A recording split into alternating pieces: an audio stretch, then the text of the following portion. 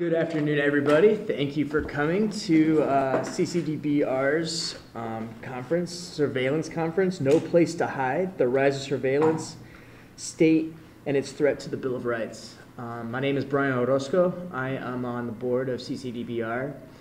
And uh, just quick little summary, this organization is dedicated to um, spreading awareness about government abuses in every form, whether it's police brutality, whether it's uh, abuse of the courts, um, and including surveillance by uh, government officials. Um, that is what our organization is dedicated to doing.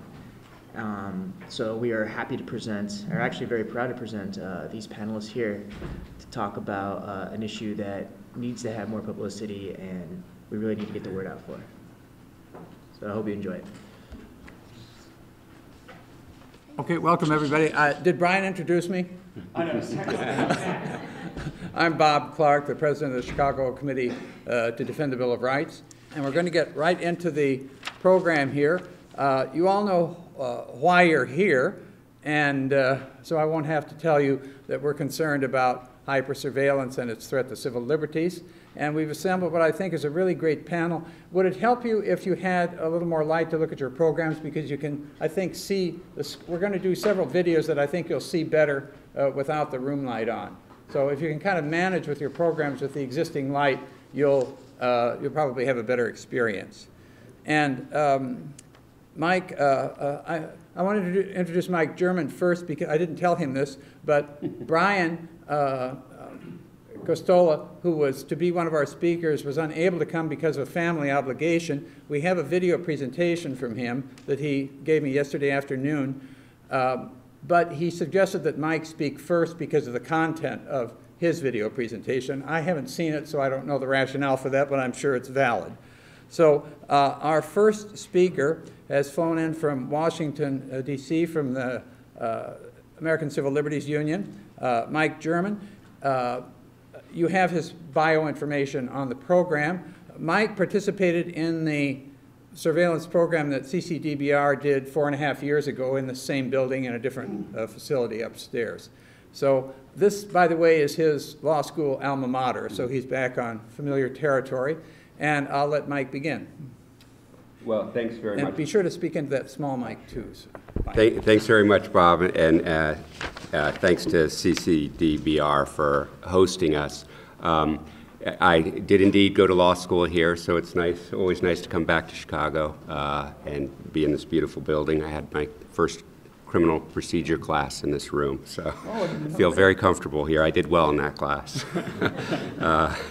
uh, and part of uh, the reason why I did well is because I wanted to go into the FBI after I left law school, and that's what I did, and was an FBI agent for 16 years, uh, and worked terrorism for 12 of those years, uh, and was um, not surprised uh, when September 11th uh, revealed the problems within the FBI and the intelligence community writ large uh, that made it difficult for them to manage the amount of information that they were collecting. And what troubled me right after 9 11 was that instead of addressing the issues that made it difficult for them to analyze and disseminate and share information, what they did is suggest that the problem was a lack of collection authority.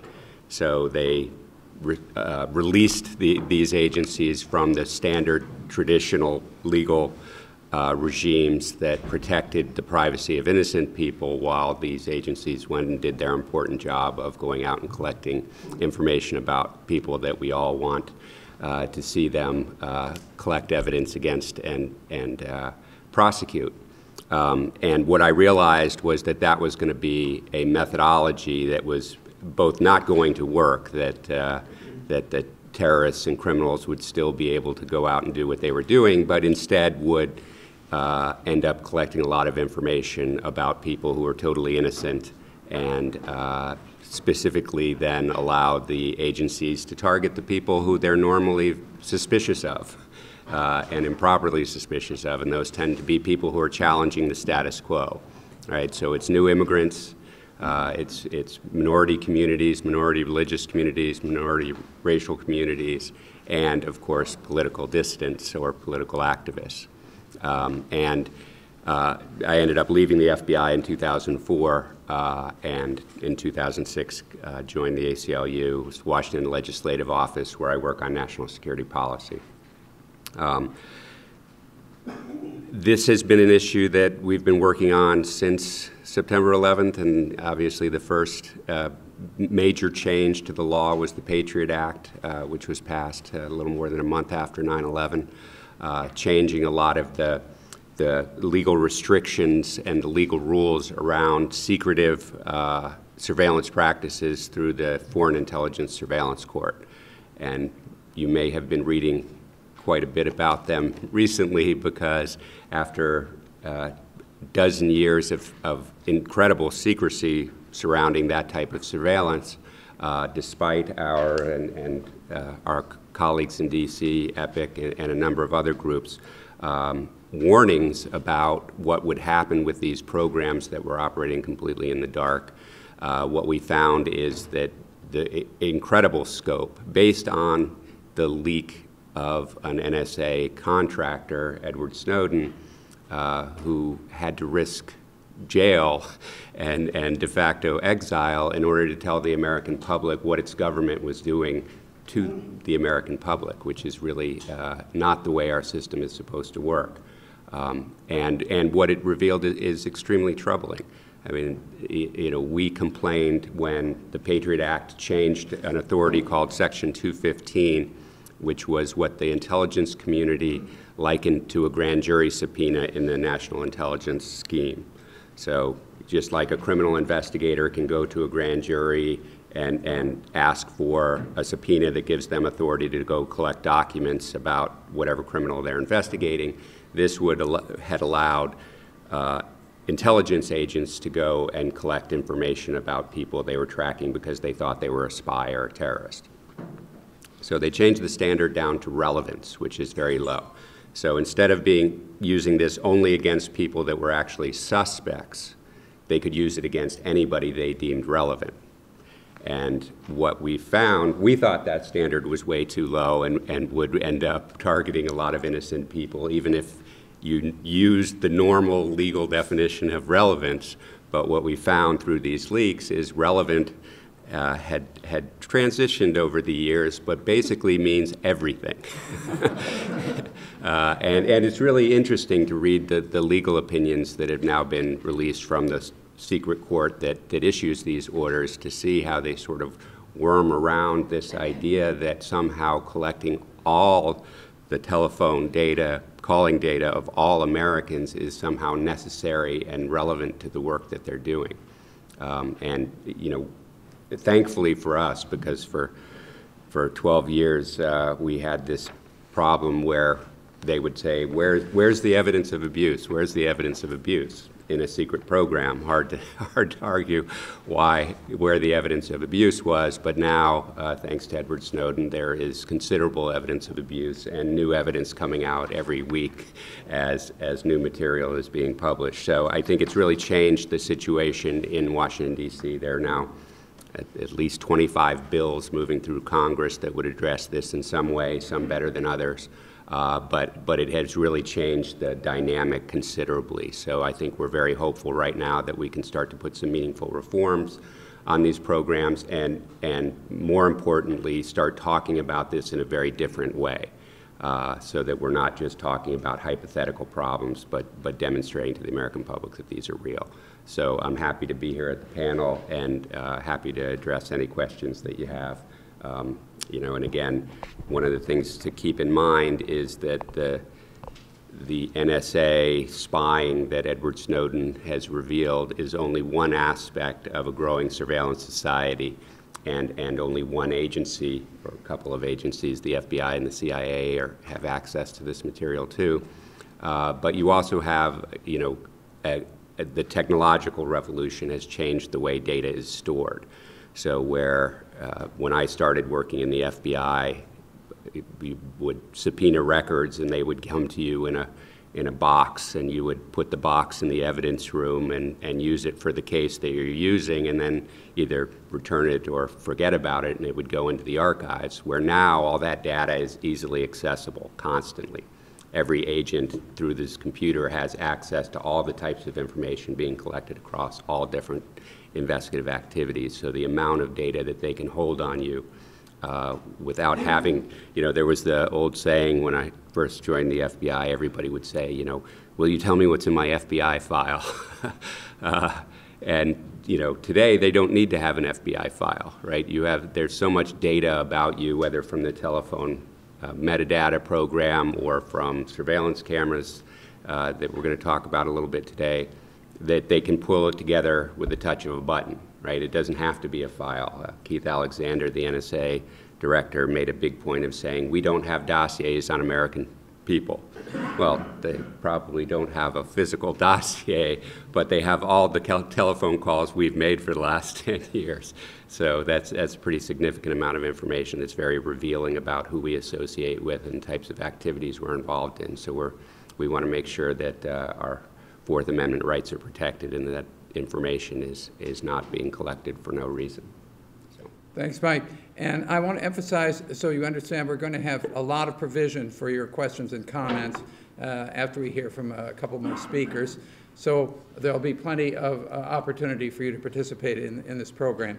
Uh, a couple of other things I wanted to mention. You may wonder why I just said I was turning the lights on and then turn them uh, off and then turn them back on uh, was because our wonderful friends from CAN TV, Channel 19, who are here, needed a little more light for their pickup. So that's why those lights are on.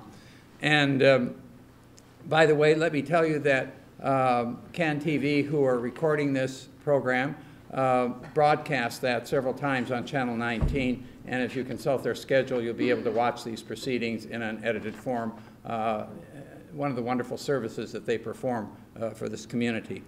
Uh, I'd like to mention also that uh, we are doing a live webcast of this program, so there are people not in this room who are watching at various points. Uh, it surprised me to find out that we have people watching the program in Shanghai, in um, Arusha, in Tanzania, uh, and in Wisconsin, and, uh, and, and, some other exotic locations. So uh, uh, there are quite a few people who, even though we have a rather late notice of the link for the live stream are tuned in.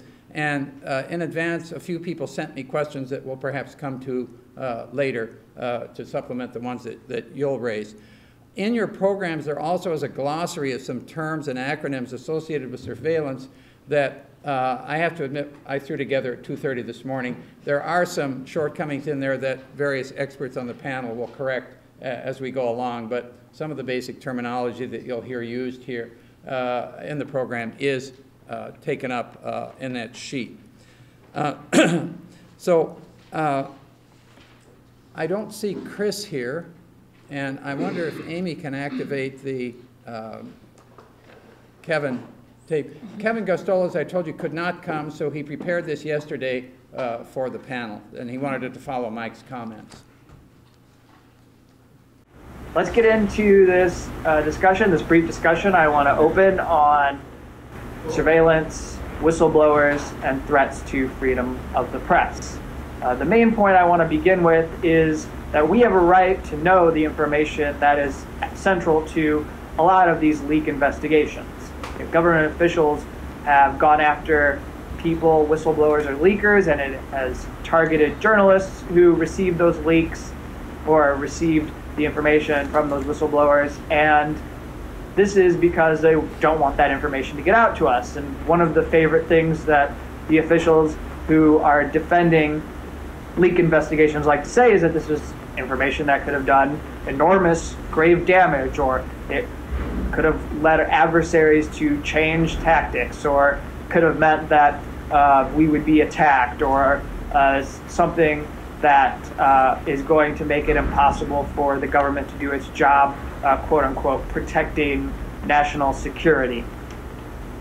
These are wild allegations, this is wild speculation, and, and we have to require that officials who make these sort of statements back up what they are alleging wildly because 99.99% of the time, it is found out that what they are saying is just simply not true.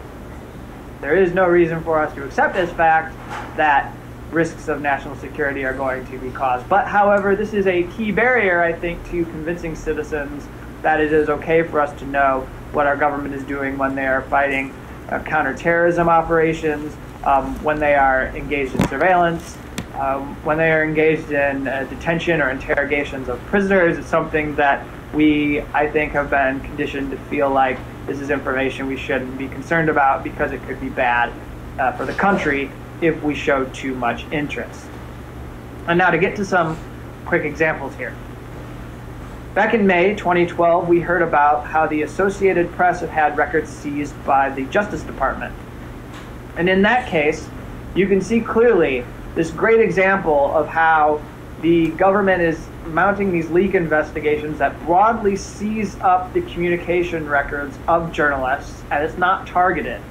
But in fact, what happens is it ends up chilling the whole news gathering process because it is going after in this case, in the AP case, you had 20 phone lines that about 100 journalists were using.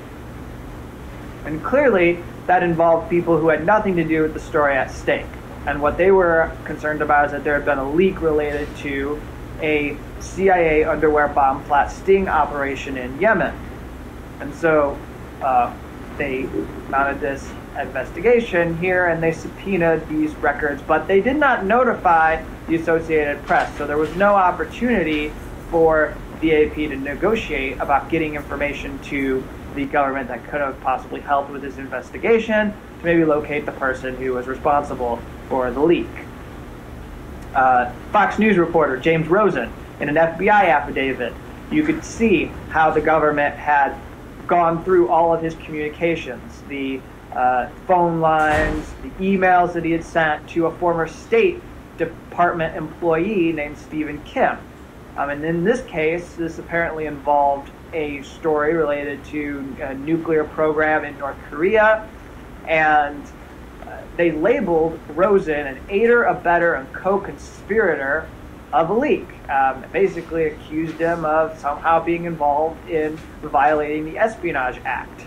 Uh, this Espionage Act is a World War I era law that the Obama administration has been using to a greater extent than any presidential administration in this history. There have been um, at least eight people who have been prosecuted under this act.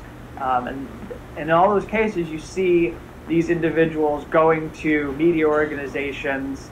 Um, so all of them, for the most part, establishment media organizations. The only one that isn't is WikiLeaks in the case of uh, Chelsea Manning. And so uh, you see that they're using this law to come down, and in this case, they went after Rosen.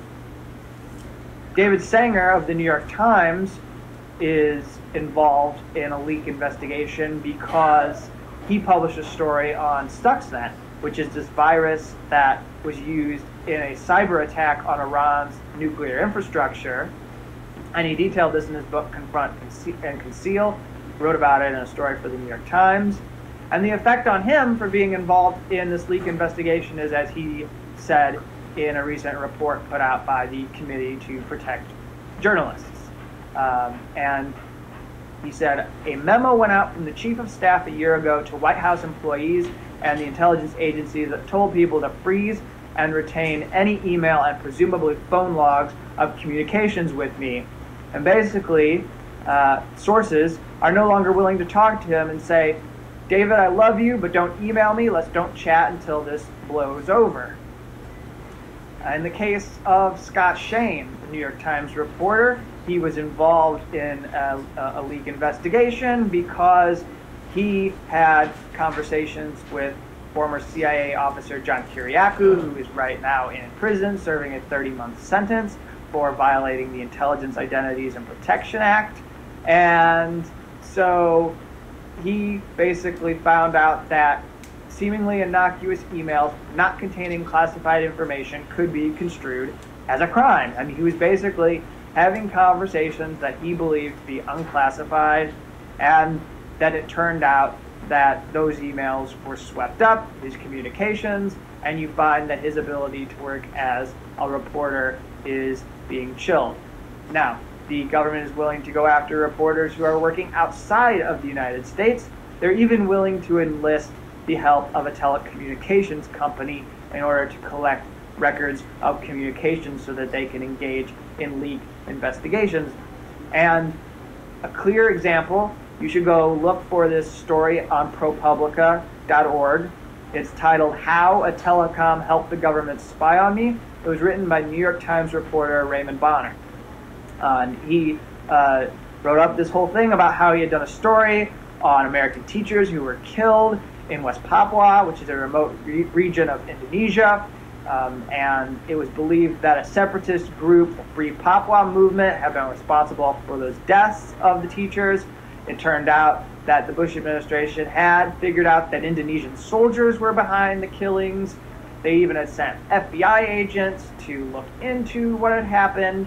And when that detail was published in the New York Times, that touched off an investigation. And you had the telecommunications company working with the government to circumvent surveillance laws and, and, and, engineer ways that they could get to the records in Indonesia, get landline records, and um, they ended up sweeping up a 22 month period, which was very, very broad, and collecting thousands of calls, uh, data on thousands of calls that Bonner um, and a New York Times reporter and a couple other Washington Post reporters who had reported on the story, they got that information as well.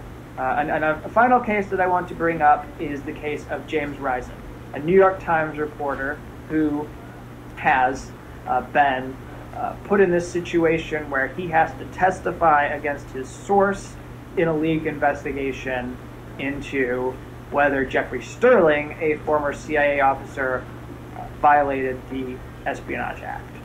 And uh, in this case, you can see in the indictment, which goes back to 2002, how the government developed uh, and was using the surveillance apparatus to collect information from call records and from emails.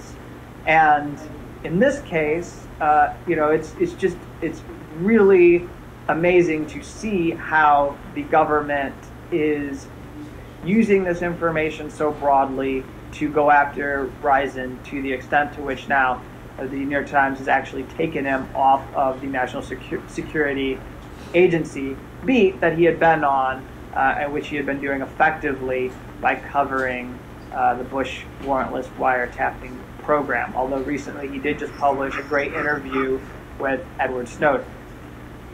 This whole thing of launching leak investigations, it really picked up in 2009 when Dennis Blair, the director, the then director of national intelligence before James, uh, who gives the least untruthful answers, Clapper took over. Uh, he, in his position, decided uh, that he wanted to pursue these leaks because in the past uh, four years, there was a record of 153 cases going to the Justice Department, and in those instances, none of those cases had led to an indictment. So he believed that something had to change. There needed to be an aggressive strategy developed, and so you have seen the Obama administration develop this aggressive strategy, even though it has made this claim of being the most transparent administration ever. And in the aftermath of the WikiLeaks disclosure, the publications of information came from Chelsea Manning, you had an insider threat program launched. And I think I'd like to wrap up by uh, reading a bit about this insider threat program that was put in place and basically show you this uh, example of neo McCarthyism that is happening inside government and is really, really chilling the news gathering process because you have employees whose free speech rights are being directly targeted and they're not able to talk about what they do in their jobs at all. And I don't think that this is something that we would accept or should accept. Uh, and inside of government, essentially now, um, they have developed courses where they look into individuals who might be willing to commit treason. And uh, if you go to the story that McClatchy newspapers did on the Insider Threat Program, what you will read about is how um, they have developed this way of uh, conditioning employees to look for antisocial personality disorders in individuals. Look for evidence of individuals who are narcissists. Um, as I'll describe here, and this, this comes from an actual site that is constructed, and we're supposed to take it as being informative. Um, what the site says is uh, that the psychology of spies is that these people are usually manipulative, self serving, and seek immediate gratification of their desires. They are oriented toward what they can get and with little interest in the future, and there's no interest in learning from the past. They have little capacity to form attachments or to develop a commitment to anyone or anything. This suggests that their ability to develop any degree of loyalty is seriously compromised. Narcissists, those are people who, quote, feel undervalued by their supervisor or their organization and generally need to defend themselves against feelings of inadequacy.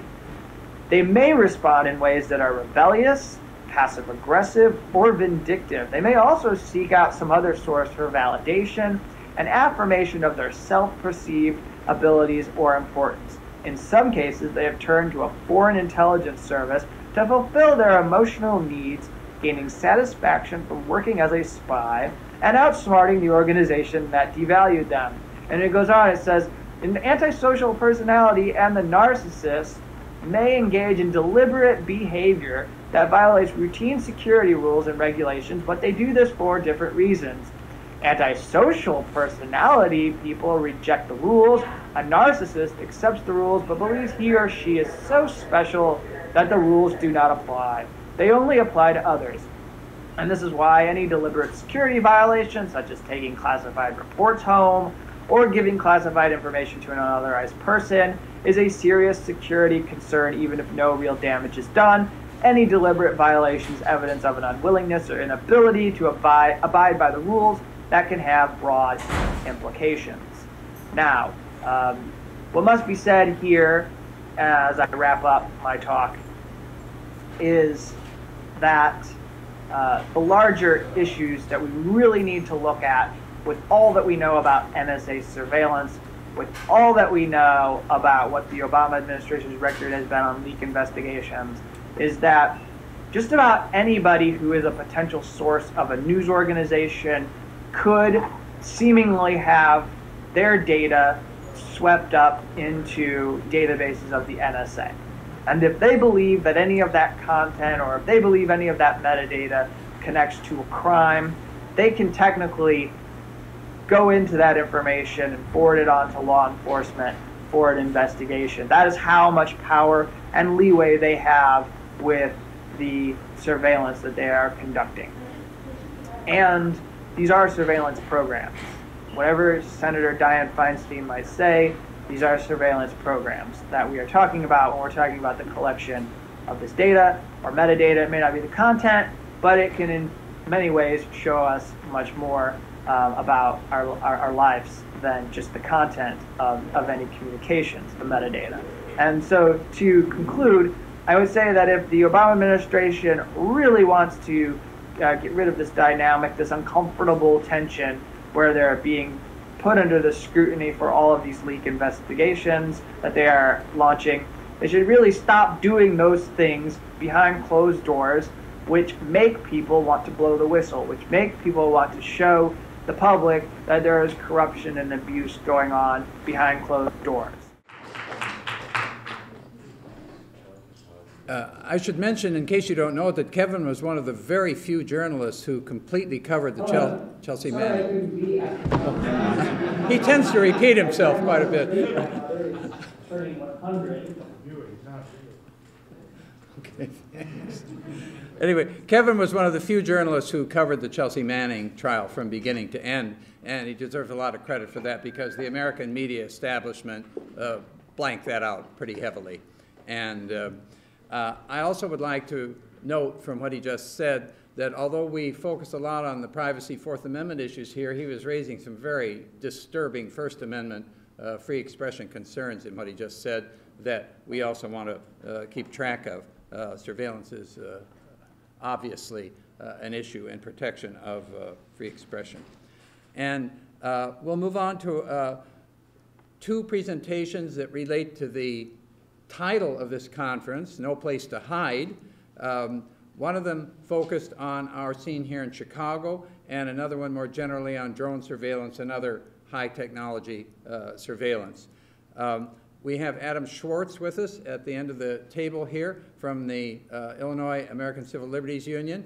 Uh, Adam has developed a special uh, tracking of camera surveillance in Chicago, and I know a lot of us are interested in that topic. It's received a lot of publicity uh, because of speed cameras and red light cameras, but we're really not talking primarily about those. So I'll ask Adam to tell us what, what he has to, to present today, and uh, please do.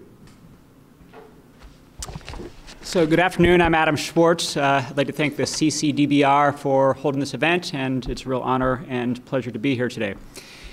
Chicago has, uh, according to um, Homeland Security uh, uh former director um, Michael Chertoff, the uh, most uh, expansive and integrated system of surveillance cameras anywhere in the country. Um, while it is a secret, the number of cameras that uh, Chicago has access to, um, the best indication today is that there are some 20,000 uh, cameras um, that are integrated into one nerve center uh, in Chicago known as the Office of Emergency Management and Communication. This is uh, a technological revolution. Nothing like this existed uh, 10 years ago. This scope of cameras blanketing uh, entire neighborhoods of Chicago, the downtown area of Chicago, um, and all integrated into one place. Uh, in addition to these massive numbers and tight integration, there are very sophisticated technologies. Uh, Chicago, in the last year, has acquired uh, facial recognition as part of its camera system. So they can run images that are captured by their 20,000 cameras against databases of uh, face shots uh, uh, held by various government agencies. They also have an automatic tracking function where they can put, uh, for example, a license plate number um, into the system and press go and see where that car has been.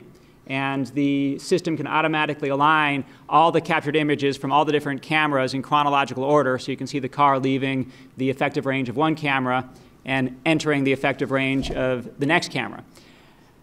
Now, what these technologies um, are significant for um, is the empowerment of government to quickly and cheaply and easily and secretly monitor where everybody is uh, whenever they are in public. Uh, unfortunately, the surveillance cameras are not the only technology like this. We, of course, are dealing with uh, cell phone tracking, GPS tracking, automatic license plate reader tracking, uh, the drones, uh, which my, my, fellow panelists will, will speak about. Uh, in the 20th century, you know, fortunately, we never got to the point as a society where law enforcement had enough manpower to keep track of where everybody was. But with these new technologies, we have shattered that threshold. Um, again, quickly, cheaply, easily, we potentially have uh, room for uh, universal monitoring of, of, where we are in public. Now, from the perspective of the ACLU, this is very disturbing for a few reasons. Uh, number one, we believe that part of uh, uh, our right to privacy includes the right to go about our day um, without being uh, surveilled and there being a record of what we've been doing. So, have we gone to church? Have we gone to a bar? Did we go to see a criminal defense lawyer or a psychiatrist or a fertility clinic? Are we visiting with members of the opposition uh, political party? Are we seeing a controversial movie? Did we go to a protest? All of the things uh, that we think we should be free to do without the government tracking what we're doing um, are transparently available to the government uh, with the use of uh, these currently existing technologies uh, like the cameras. And in addition to the privacy dimension, there also, of course, is a First Amendment dimension uh, which is that if the government directs these technologies towards protests in public place, whether it's pickets or leafleting or, or demonstrations, there's a tendency uh, to, uh, for people to be chilled and not want to go and attend these events if they are concerned that doing so will get themselves into uh, a government database. Now, sadly, Chicago has a history here. Um, the infamous Red Squad of the 1930s through uh, you know, the, the 1980s um, where it was standard operating procedure, for uh, example, for police to stand outside political demonstrations and write down the license plate numbers of people who are coming. Well, now, potentially, it is uh, a lot cheaper, easier, and quicker to do this. You don't even need the officer to stand there if you have the right technology. Uh, there are existing Chicago police regulations uh, regarding First Amendment surveillance, uh, and in particular uh, for demonstrations. And what they say is that a supervisor can direct the city's 20,000 cameras at First Amendment activity if they believe they have a legitimate law enforcement purpose, uh, which we consider to be a nebulous and insufficient standard which does not require reasonable suspicion of crime. Uh, so it's effectively a, a fishing expedition. And, we have um, asked the city, uh, unfortunately to no avail, to, uh, to correct that standard, which unfortunately is a problem, not just with these new technologies, but with an array of other um, law enforcement uh, approaches. So when we talk about these uh, Bill of Rights costs, our privacy, uh, the potential chill on the First Amendment, the question arises, well, what is the benefit of uh, these cameras? And it is often said that they make a difference in keeping our streets safer. Um, the ACLU uh, is not greatly persuaded by that. Um, there have been many statistical studies of whether or not the putting up of these kinds of surveillance cameras deter street level crime. And uh, virtually without exception, they have found that, in fact, uh, violent crime is not reduced, and uh, only to some marginal degree might property crimes be uh, reduced in some cases, for example, in, in, in parking lots. Well, do they help uh, make arrests? Well, Chicago Police's own data shows that less than 1% of all of the arrests in the city of Chicago have anything to do with the surveillance cameras. Uh, and, and, this is happening at a time where we're spending hundreds of millions of dollars, well, in excess of 100 million in Chicago on these cameras. We simultaneously have 2,000 vacancies in the Chicago Police Department. And you know, I, for one, would feel safer with another police officer in my neighborhood um, as opposed to spending the money on, on, on the high-tech gadgets. The final aspect of whether the cameras are protecting us from street crime is whether or not they are assisting in uh, prosecutions and convictions. And there are statements by the uh, spokesperson for the Cook County State's Attorney's Office that, in fact, the uh, captured images have not helped uh, with virtually any prosecutions. there is, of course, uh, in addition to street level crime, the question of terrorism. Um, it's hard to prove, uh, you know, the counterfactual that these have prevented uh, or not prevented um, a terrorist attack.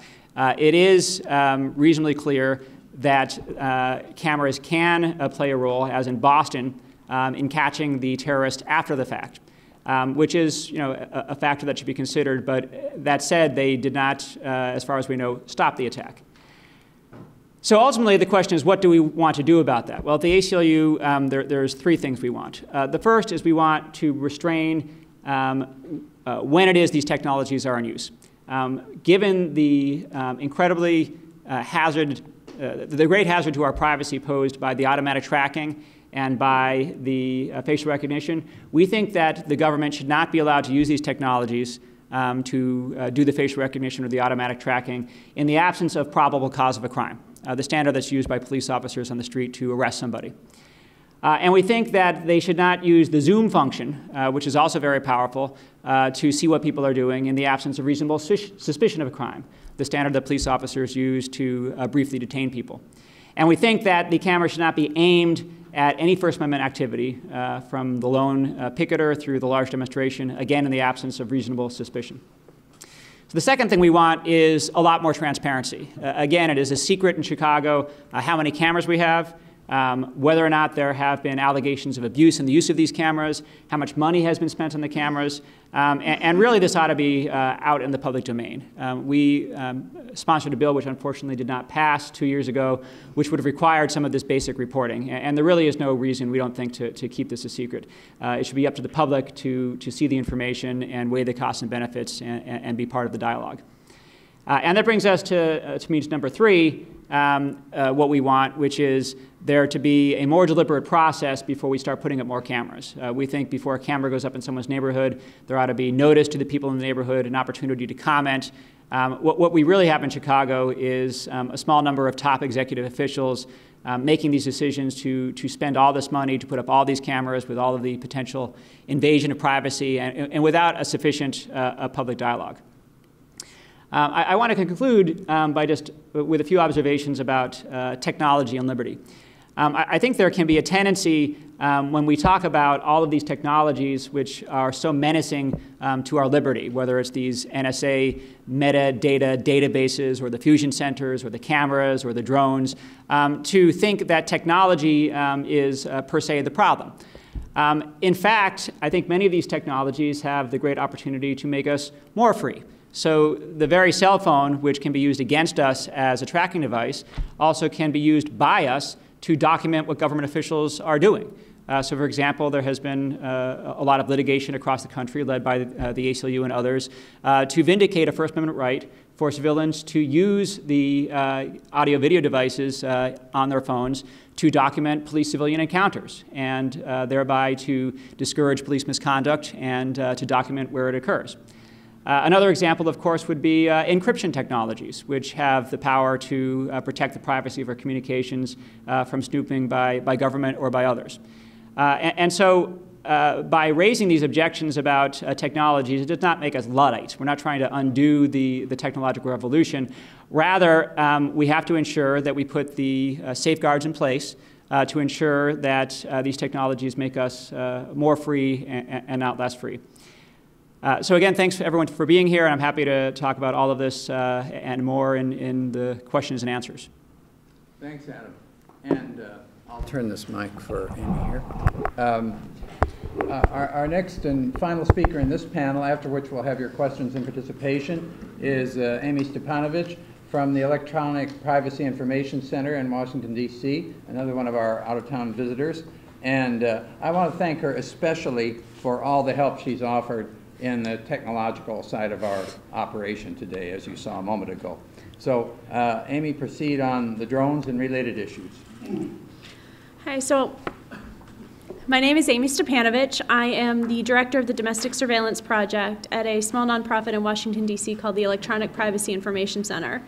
EPIC has been around since 1994, and we were formed to educate the public on emerging issues in privacy and civil liberties as they, as they associate with technology. And that has made me very busy in 2013 um, because there, there is no shortage of issues that impact our privacy and our civil liberties. So I wanted to start with um, a question of how, at what point do we just accept surveillance? Um, I heard a story earlier this year from somebody I was on a panel with where in the, the United Kingdom, they actually do very in depth aerial imaging of the entire country every single year. And as a result of that, they take incredibly high resolution photographs and they give copies of those photographs, of copies of um, the tops of people's houses or towns to children. And the children are able to get these awesome photographs of their areas that they can put on their wall. And it makes them accept the fact that this survey happens every single year. And to me, that was amazing. At what point do we say it's okay that they're collecting large amounts of in information about individuals because we think maybe we're benefiting out of it, even if it's only by virtue of getting this really cool picture to put on our, our child's wall?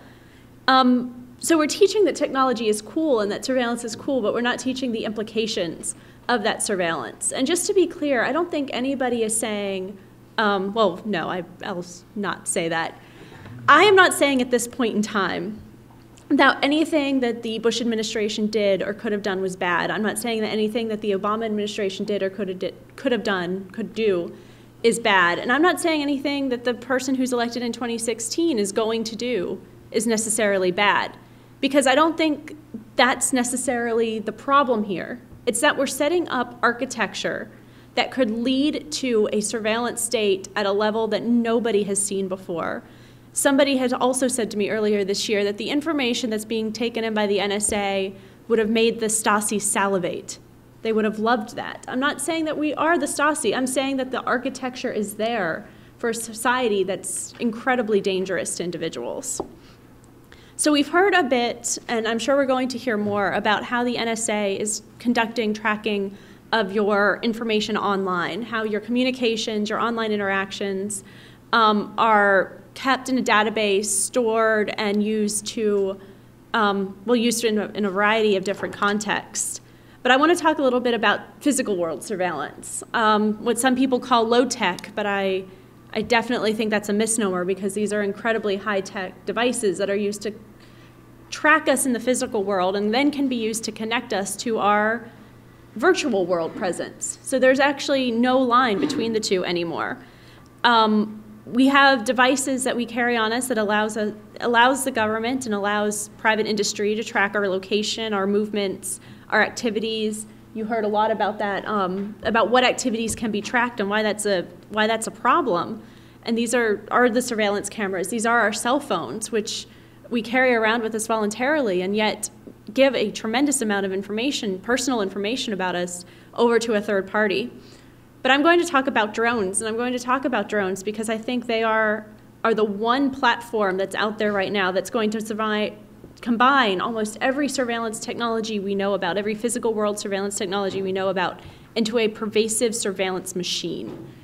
Um, drones are actually designed, this is what um, differentiates them from traditional aerial surveillance vehicles. They are designed to conduct surveillance. They come built with cameras and array of other technology that I'm going to discuss in just a second.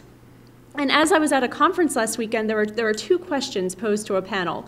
One was, how do we get over the idea that drones are cool? And then five seconds later, as soon as the panel answered that, somebody raised their hand and said, okay, but how do we get over the perception that drones are scary? And the thing is, is that drones aren't either cool or scary, but we need to talk about what we can do with them and what we shouldn't be able to do with them because they do allow an entire new world of information to be collected. Um, some of the technologies that are, are being or about to be deployed on drones, we have facial recognition technology. The Department of Defense has spent a lot of money trying to figure out how to put facial recognition on drones so that they can use it amongst other things at the border. Um, one of the bills in Congress right now would require 24 hour drone surveillance along the southwest border being conducted by the Customs and Border Protection Agency. They have Stingray um, technology. This is fake, a fake cell phone tower to triangulate your location using your cell phone, whether or not you are making a phone call. Um, automated license plate readers that collect the license plate number of your um, car and can put it into a database to track your movements. And technology that you're going to hear a lot about in the future, but not so much just yet, called terahertz technology. Terahertz scanners can scan you as you walk down the street. They're basically the equivalent of an electronic frisk and tell exactly what you're carrying down to very small trace amounts that you may have come into contact by brushing against somebody earlier in the day. They're incredibly um, revealing, but very have a very low intrusive value because they can be you can be scanned from very far away. Um, the drones that carry these technologies, and there, some of them are deployed now, the technology is expanding at an exponentially fast rate. They can be very small. They can be as large as a 747 and fly very high in the air out of, out of range of sight. And most concerning is that they can fly in areas that were just off limits to traditional aerial vehicles. They can get very close to your home, can get underneath um, overhangs into buildings in some occasions. There are drones that are as small as a hummingbird and they're being developed to be as small as a mosquito in some cases, although getting the surveillance equipment on those drones has proven quite difficult. Um, and they, they can track you forever. Um, they can fly in the air. They're exploring technology that would allow a drone to fly in the sky perpetually with never, without ever having to come down to be recharged. So these are devices that can just stay up, um, keeping track of people's movements perpetually the drone industry likes to say that they're a game changer. They are definitely a game changer. They bring a whole new face to the world of physical surveillance. But then, very, very quickly, the drone industry will also say that they're no different from other aerial surveillance vehicles, and we don't need to regulate them any more than we've ever regulated an airplane or a helicopter, which are both incredibly expensive to operate, incredibly time consuming, and need a large amount of training. A drone can be thrown up in the air in mere, in mere minutes, piloted from the ground using a the equivalent of a video game controller or your cell phone. Um, and they don't take much training. You can get the training to operate a drone in a half day, the last time I checked. So it's, it's amazing what the technology is going to be able to do. A piece of, a, a camera that's now being developed and used by the, the Department of Defense and in a very short amount of time, I'm sure, will be available on the commercial market called Argus, can film an entire city from one camera down to a blade of grass. It's incredibly high resolution. It can zoom in to see um, in startling clarity everything in an entire city. And somebody has proposed having one of these cameras over every US city so that they can track movements of everybody in a city at a time. And then those video feeds can be leased out to people who want to look at the feeds. So the police can access a feed if they want to, Google can access a feed. Um, your neighbor, if he or she can afford it, if we don't know what this business model would look like, would be able to access a feed on an entire city, tracking people as they go about their everyday lives.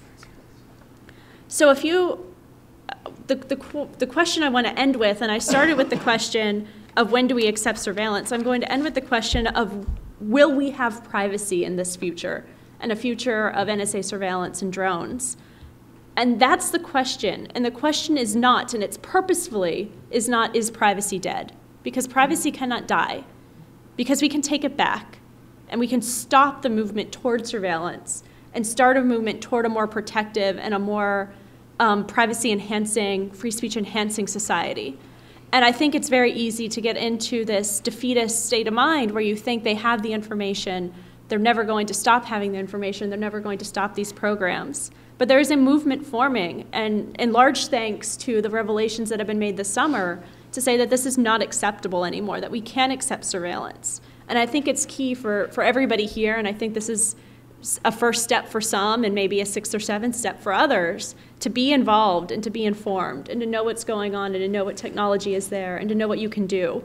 And even if it's making a comment on a blog post or making a call to your senator or representative, the pressure that you put on people to put the right policies and the right technologies and the right laws in place to protect rights in the future is going to have such an be so, so incredibly important um, that I can't emphasize it enough.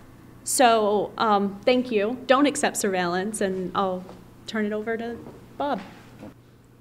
Okay, so we have Jonathan. A very specific question. How good is the facial recognition software being used? Like I've used consumer versions of facial recognition recognition software on my photo album, and they're not very good. Like, what kind of accuracy are we talking about with the what like the city of Chicago uses?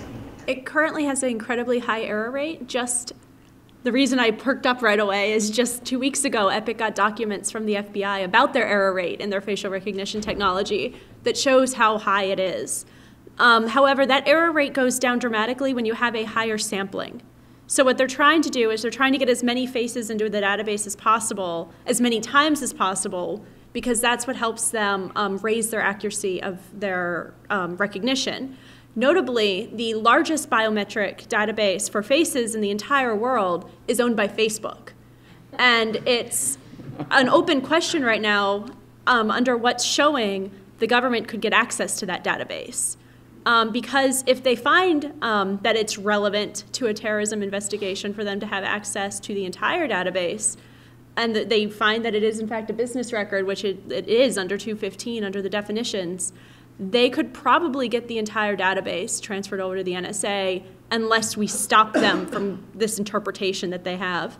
And just one final note on that: they are now they are right now the government is performing a study in a hockey a public hockey rink for a professional team um, on the west coast where they are scanning every face that comes into the hockey rink um, through certain exits. They say that if you don't want to be scanned, you can use a different exit.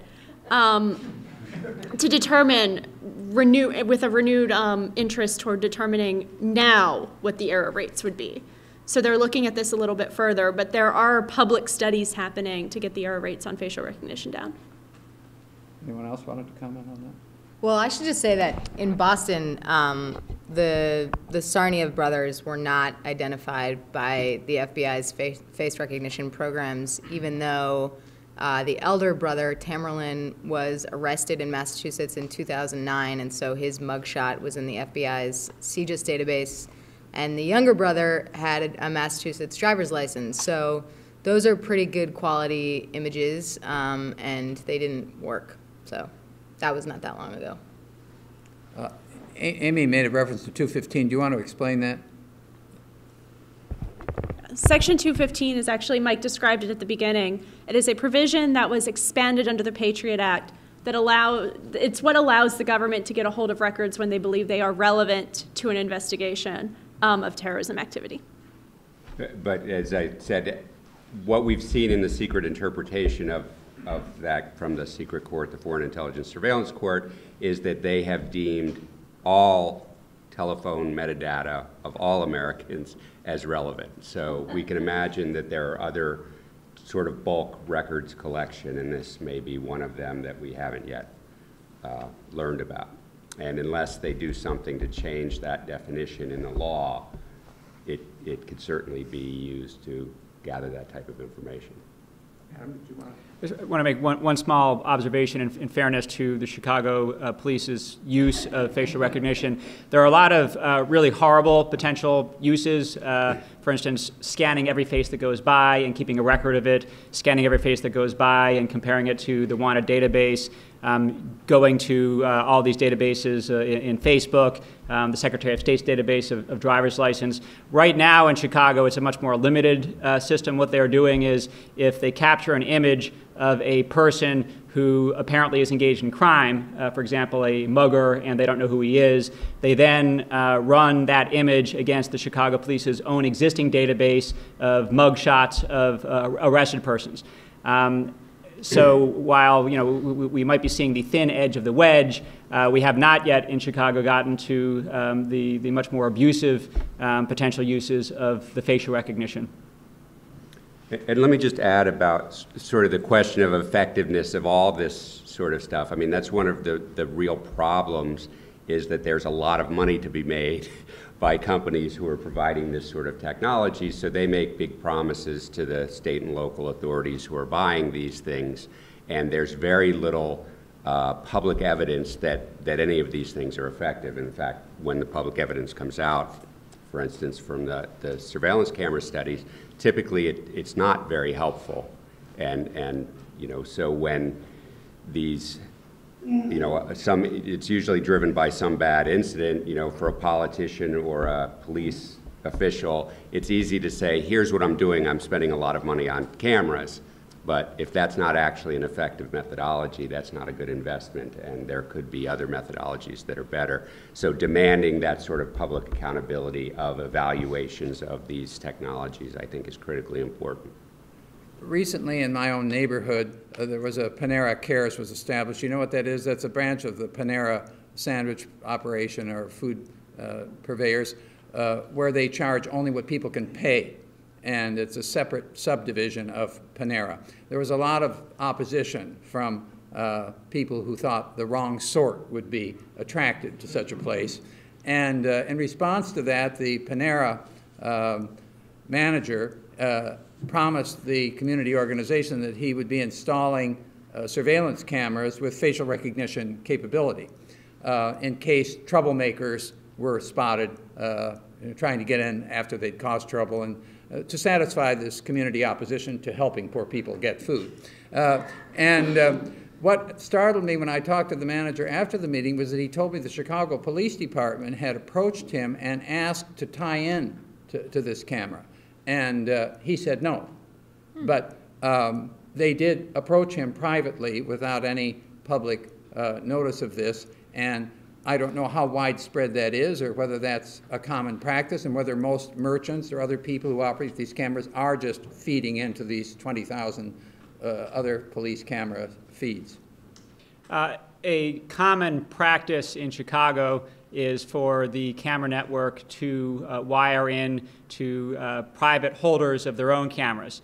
Uh, they sign a memorandum of understanding, uh, for example, with the uh, owner of the Willis Tower, so that all the cameras uh, that are used for their own uh, purposes of protecting their property that happen to be aiming outwards um, are accessible to the city of Chicago.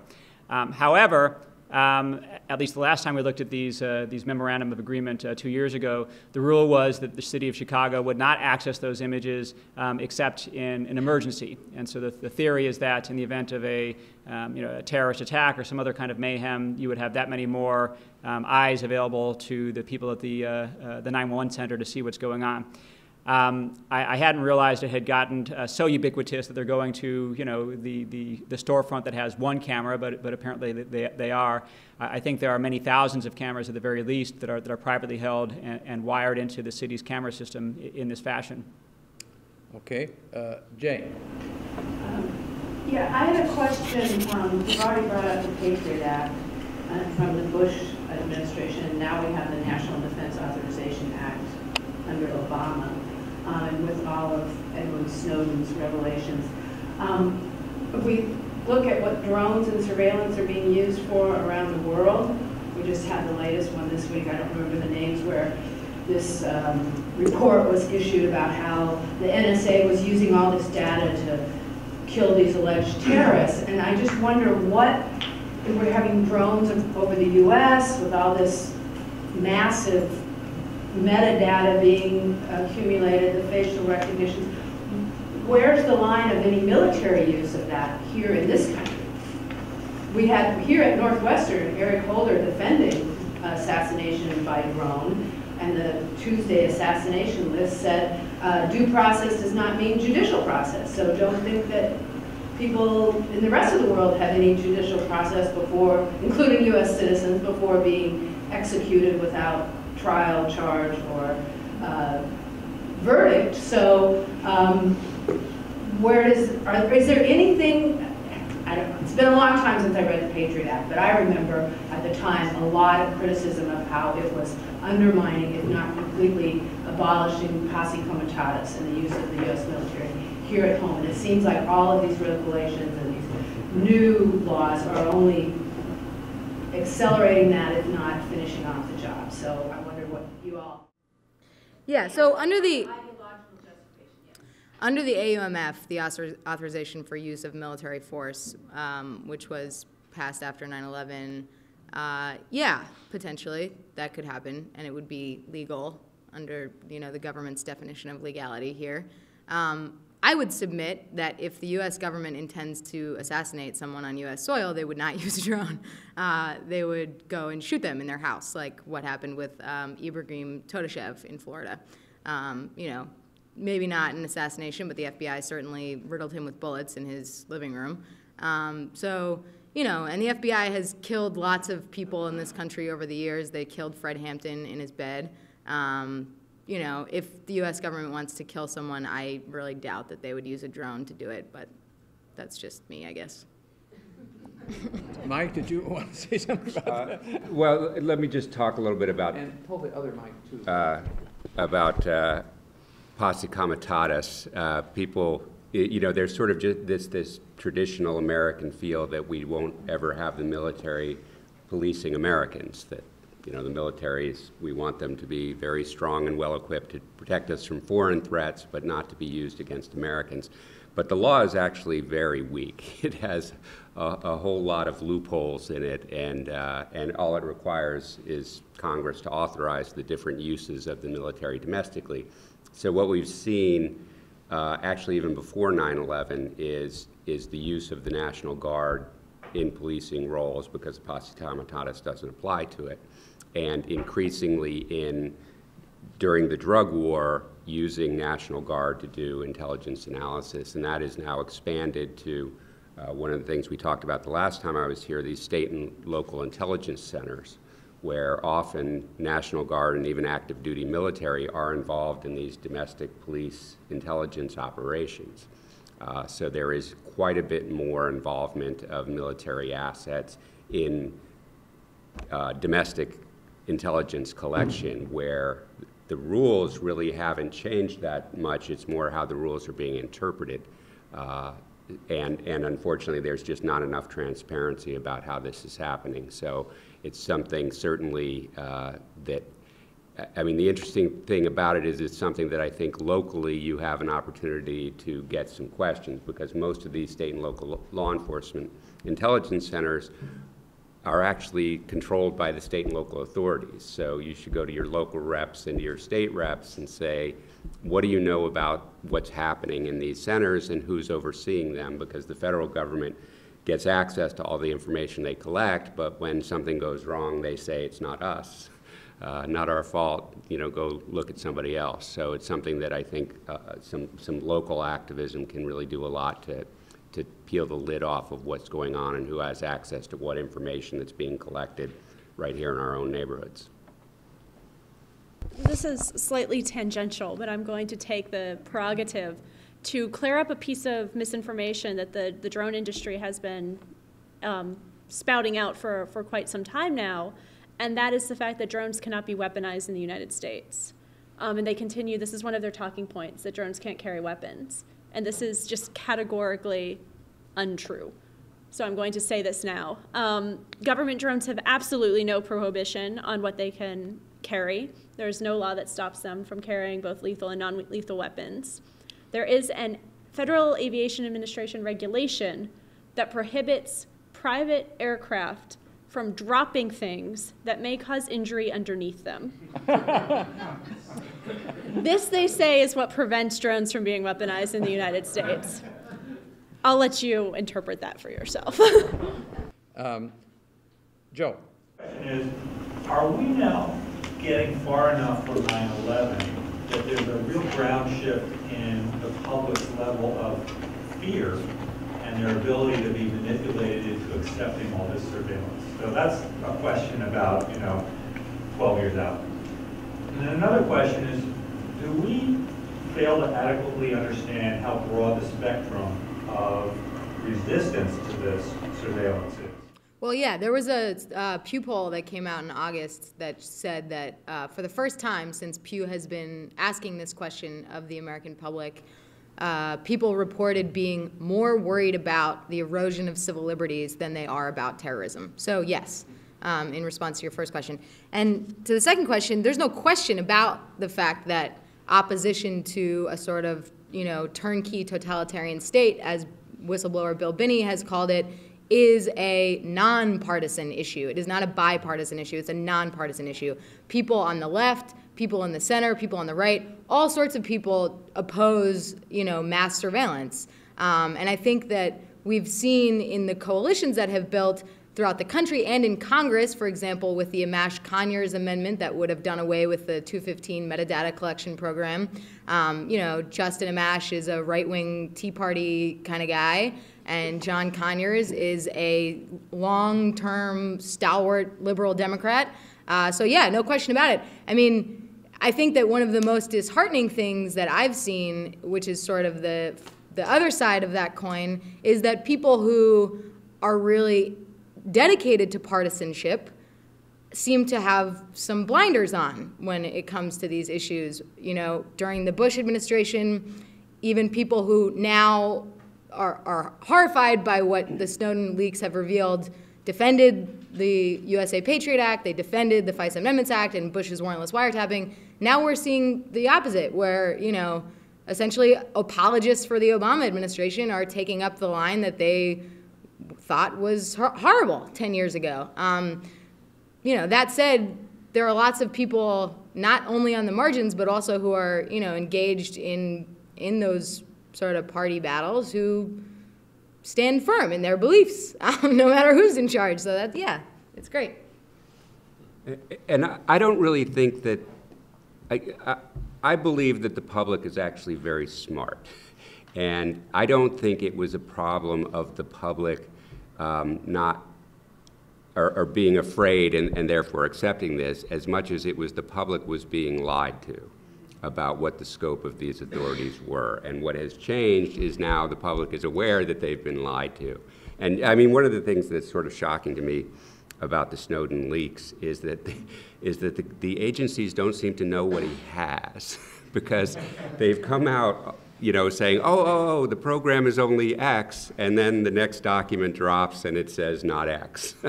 uh, and they've been caught so many times actively misleading Congress. You know, we now know because of the leaked documents that they were misleading this secret court. Um, so, you know, that sort of shows how poisonous secrecy is to a democratic society. And unfortunately, the secret part of our government has grown enormously. There are now 5 million people with security clearances. So that's really what we have to address, is how, how to make it so that, you know, like James Madison said, you know, uh, popular government without public information is a farce. We need to know what our government is doing. And even though, you know, I was an undercover agent, an FBI undercover agent, I, I understand there is need certain times for government secrecy, but that should be seen as a threat. And it should be very narrow when it's used and very short term. Because, you know, as much as as I knew what I was doing was secret, I also knew that I was going to walk into a courtroom and everything was going to be released. So my incentive was to do everything right, because if I didn't, it would be uncovered. In the intelligence field, you know, they clearly planned to keep these secrets forever. And only because we did have somebody who was, who was brave enough to release them do, do, the American people have, have the ability to actually weigh in on what the government is doing, and that shouldn't have to be that way. So I want to just emphasize something that Mike said in passing, and that's how shocking it is that the government doesn't know what Snowden has. Um, and I want to do this because I think this is a point that Kevin made in his production, and he's not here right now to say it. Um, EPIC got documents under FOIA about one of the government cybersecurity programs called the Defense Industrial Base Cyber Pilot, which is no longer a pilot, it's implemented in full, that shows what to what extent the government thinks that they can monitor the networks of contractors. And basically, under what we've seen, they think that for any individual that works at a defense contractor, they can monitor everything that they do on their computer, from sending personal emails to surfing the internet to looking at government documents. And to me, it was shocking having seen these documents that show what the program is capable of monitoring, that obviously they weren't implementing the full extent of those monitoring capabilities. Do I think they're doing that now? Yes. Do I think that's going to chill the ability of people in the future from revealing the existence of abusive programs? I do. I think also that this program, the Defense Industrial Base program, has been expanded to all critical infrastructure industries. So it's no longer just a problem of defense contractors. It's also energy. It's also um, any number of critical databases, um, communications, telecoms, um, so that we're having our people who are in the best position to sound the alarm about government abuses 100% monitored at all times. And I'm not saying that's good or bad because I'm sure it does a lot of good things, but there's also some very vast chilling effects. I just want to make a very short observation about the uh, nonpartisan nature of the growing movement to take back our privacy, which is that in the Illinois drone bill, um, we had uh, many members from both political parties in both chambers sponsoring our bill and the bill passed by overwhelming majorities, including a majority of each caucus uh, in both houses. Uh, there was a lot of, uh, just for example, downstate Republicans who completely got it. And when a prosecutor says that, you know, just like we're allowed to use a helicopter to look down, you know, on your backyard without a warrant, we should be allowed to use a you know, drone to look down on your backyard without a warrant. And these, you know, rock ribbed downstate Republican legislators say, why are you allowed to use a helicopter to look down in my backyard you know, without a warrant? So I, I think that a lot of people in all parties get this. Our former president, Lester Jackson, has something to say to you. Uh, good, good, good afternoon. Now let, us give our, I know you're enjoying this, give our panel, uh, uh both panels a hand. I think we ought to, uh, thank you, thank you, thank you. Yeah. And I'd like to ask you to give the board uh, a hand and my president a hand. All right. All right. Okay. And our friend of uh, some of you old timers probably remember Richard Crowley, who was the convener and founder of the Chicago Committee, and uh, who traced his ancestry all the way back to the sign of the Declaration of Independence. And he had one ancestor who was uh, killed uh, because she was accused of being a, a uh, witch in, in Massachusetts, and and he was he was had, he was a, a member of the Army intelligence in France during World War II and worked with French resistance against fascism and Nazism. There, uh, he was totally committed to defending the Bill of Rights against government encroachment. And uh, since he passed from the scene, the leadership of the Chicago Committee has kept the faith. Uh, when the Homeland Security and the Patriot Act uh, was signed and sealed and printed, uh, uh, the Chicago Committee went to our Congressman Danny Davis, who was one of the most progressive congressmen in the in Washington, and asked him to get us a copy of that uh, bill, uh, Homeland Security and Patriot Act, 300 some pages. We had uh, that uh, printed, about 30 copies of that printed, and distributed them among people throughout the city who were committed to doing something about it, to organizing against it. And uh, we were able also, with the help of Congressman Davis, to bring uh, uh, the uh, congressman from Detroit uh, uh, to Chicago, and who was then, I think he was a ranking member of the Judicial Committee, who spoke in mass meetings and everything. So we've been, and this organization, you may be aware, the old timers know filed charges against the city on the uh, Red Squad and, and, uh, and re received some kind of uh, agreement on that. Uh, the, the founder and this organization fought McCarthy's committee and McCarthyism. And uh, so we've been consistent, and, uh, and, and as you see, what we're doing here today reflects that. So I would hope that you would think we're worthy. We're we're pleased to have uh, a young uh, uh, uh, generation of board members who are carrying forward. stand up to Ryan and and are there any other our board members here? So we're here to stay. Chicago committed. The work goes on. The beat goes on. And those old timers, we know what McCarthyism is, how many people were destroyed. Now, this is even worse because uh, I, when I read, I read the, the Patriot and Homeland Security, and they got millions of billions of dollars just to do what we're talking about.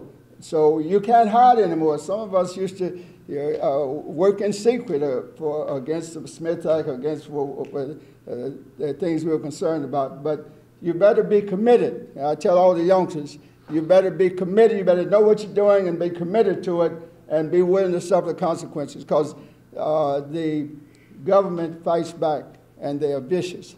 And all you got to do is, and I would just suggest in closing, I know you've got your checks written.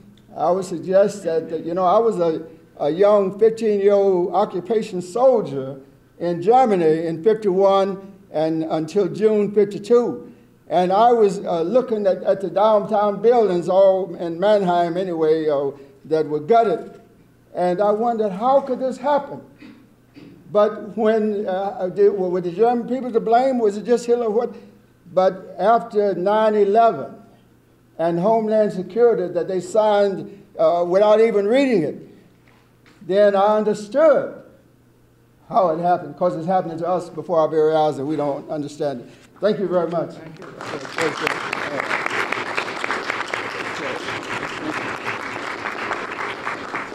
Okay, we'll proceed uh, then to the next portion of our uh, program, and uh, that involves, uh, first of all, if Amie can rise to the charge again here, uh, the long-awaited um, Skype interview that was done around midnight last night with Tom Drake, uh, one of our most important right. whistleblowers. All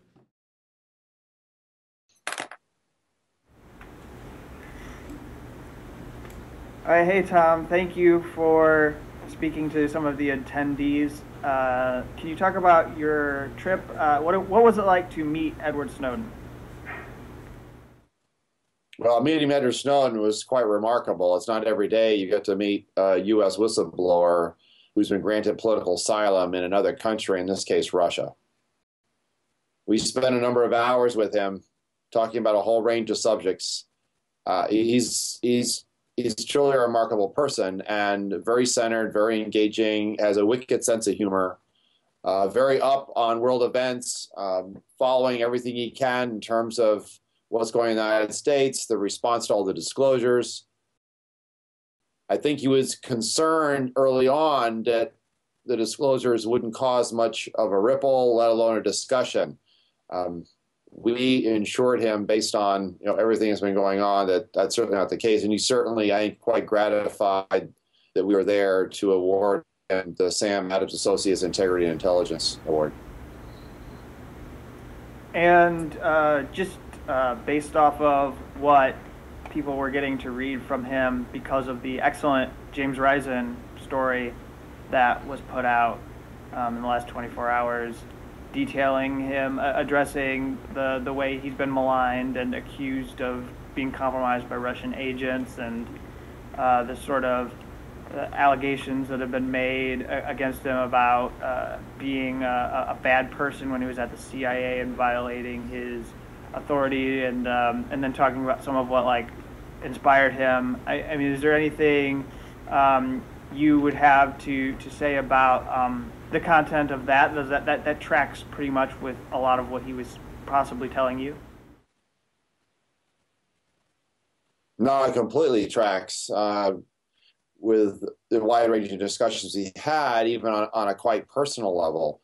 Uh, the thing that I'm struck by in terms of those who would malign him is it's the it's the classic attack on the person. It's it's the traditional attack on the character of a person, particularly a whistleblower, which avoids the substance of what they actually disclosed. And I but I recognize that that's that's a classic technique when you don't want to have to deal with the substance of disclosures, and his are quite extraordinary. I mean, he really he recognized what had been occurring over the past number of years. He saw what happened to me and others. And he knew that with what he was eyewitness to, it was clear in the public interest. But how do you get it out in a way that it can actually be made available to the public so they can actually make up their own minds about what their government's been doing in secret behind their backs without their consent? And in this particular case, uh, with all that's happened and transpired since 9 11, he had to escape the United States, to have any hope of ensuring that the material actually get into the right hands for disclosure, you know, through reporters and journalists. And that was in, in the persons of Glenn Greenwald and Laura Poitras, and also have any chance of securing or ensuring his own freedom. Recognizing that the United States would throw everything they had to go after him and bring him back. And uh, you know, do you have flashbacks? I guess for people who aren't terribly familiar with your story, I'm, I'm not going to rehash it here. Uh, there, there, are ways that people can go online and, and, and read the full story. But in meeting him, do you, do you have flashbacks to aspects of, of what happened to you? Well, the first thing I was very present to is he's standing on my shoulders and others. And also extraordinarily grateful because it was it had been my hope for the last number of years that other people within the system would also come forward like I did. And he certainly did so in rather dramatic fashion with the, the information and the evidence about how far the United States has gone in violating you know, any number of statutes and laws, even those that are currently on the books, as well and fundamentally, as well as the Constitution, the Fourth Amendment but not just the United States, also the rights of citizens uh, in other countries as well. And it, one of the challenges that I thought that I had seen was would we be able to have the real conversation debate that we had never had since 9 11? Uh, that certainly has been triggered and then some uh, by, by his disclosure starting in June. One of the unique things is that he had the courage to actually, and it's, it is unique, to actually disclose himself as a whistleblower. Uh, historically, uh, that's usually not done. Usually, the whistleblower remains anonymous. Um, but I think, given the circumstances, but let me let me put it this way: I've relived the past 12 years as a result of the last four months.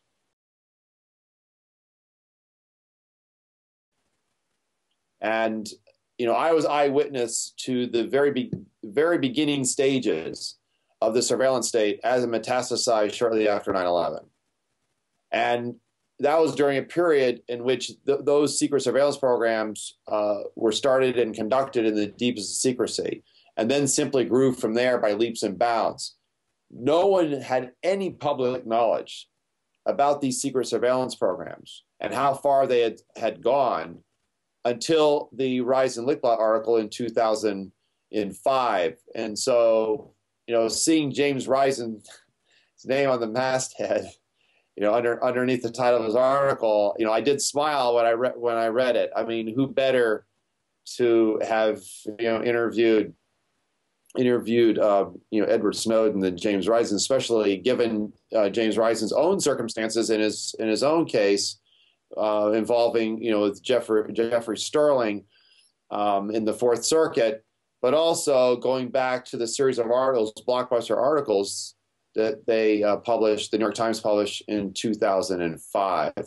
So it's it's been quite a period of time for me, uh, and yet here we are now having that debate and we're really having a debate about what kind of country uh, are we, who we are as people, and how far do we allow the government to go without our consent and conducting um, the, the, kind of activities that Edward Snowden uh, has so courageously revealed. And so, for audience members who have been following some of the disclosures, I guess what sticks out to you as one of the most, uh, I guess, glaring, uh, dangerous aspects of the surveillance state that has been revealed?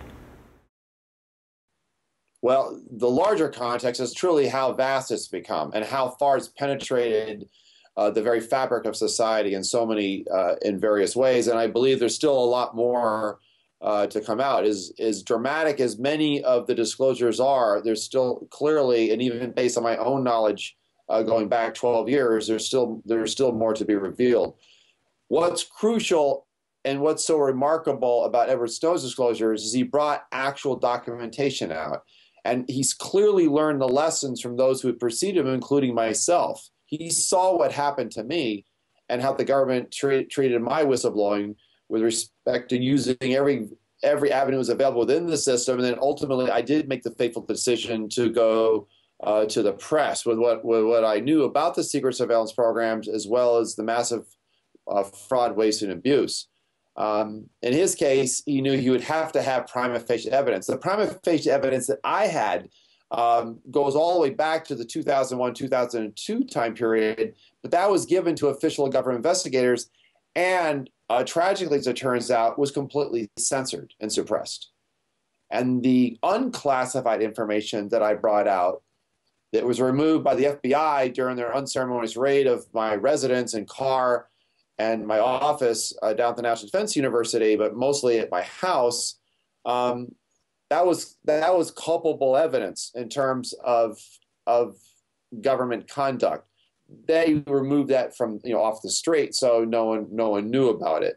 So here you have unassailable proof of just how far the surveillance system has gone. And I think there's a couple of things that stand out. One is probably the Dash 80 order, the order that um, requires Verizon uh, to turn over, and of course, it's been renewed a couple of times since that was disclosed.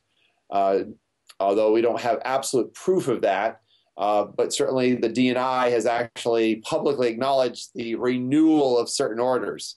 Okay, uh, but based on the original disclosure of Snowden in June, uh, it really, you know, it's you're now seeing the actual evidence, something I had known for many, many years, both both in the in the last uh, couple of years before I left NSA, but also the previous iteration of those programs, the bulk the bulk turnover of phone numbers and mass uh, to NSA. Here you have the actual uh, rather antiseptic, um, you know, quasi extra legal text um, requiring Verizon to turn over the phone numbers of each and every subscriber, um, you know, each and every day to NSA. No, no probable cause, no reasonable suspicion, no link or even relevance to any kind of counterterrorism uh, or or ongoing investigation. It's simply we need the phone numbers, uh, and the phone numbers it makes for a rather large haystack, uh, to say it that way. Uh, that's probably in my in my mind one of the big standouts. The other one is Prism because Prism, in some ways, um, it's one thing to have phone numbers. It's one, and you get extraordinarily rich uh, rich information from from metadata as it builds up over time, aggregates over time. I mean, that alone was a fundamental violation of the Constitution because essentially it's equivalent of a of a general warrant. and the general warrant is forbidden by the Constitution. You actually have to have particularized warrants. So that's that's one thing. The second thing is PRISM. PRISM really is evidence of this of the what I call the deep dark side of the partnering between government and, and industry. And here you have very large companies who have vast amounts of data at, at, at their disposal because of the very subscribers to which they sell services, giving the government essentially a blanket or very open access to that information, um, not just metadata, but also content.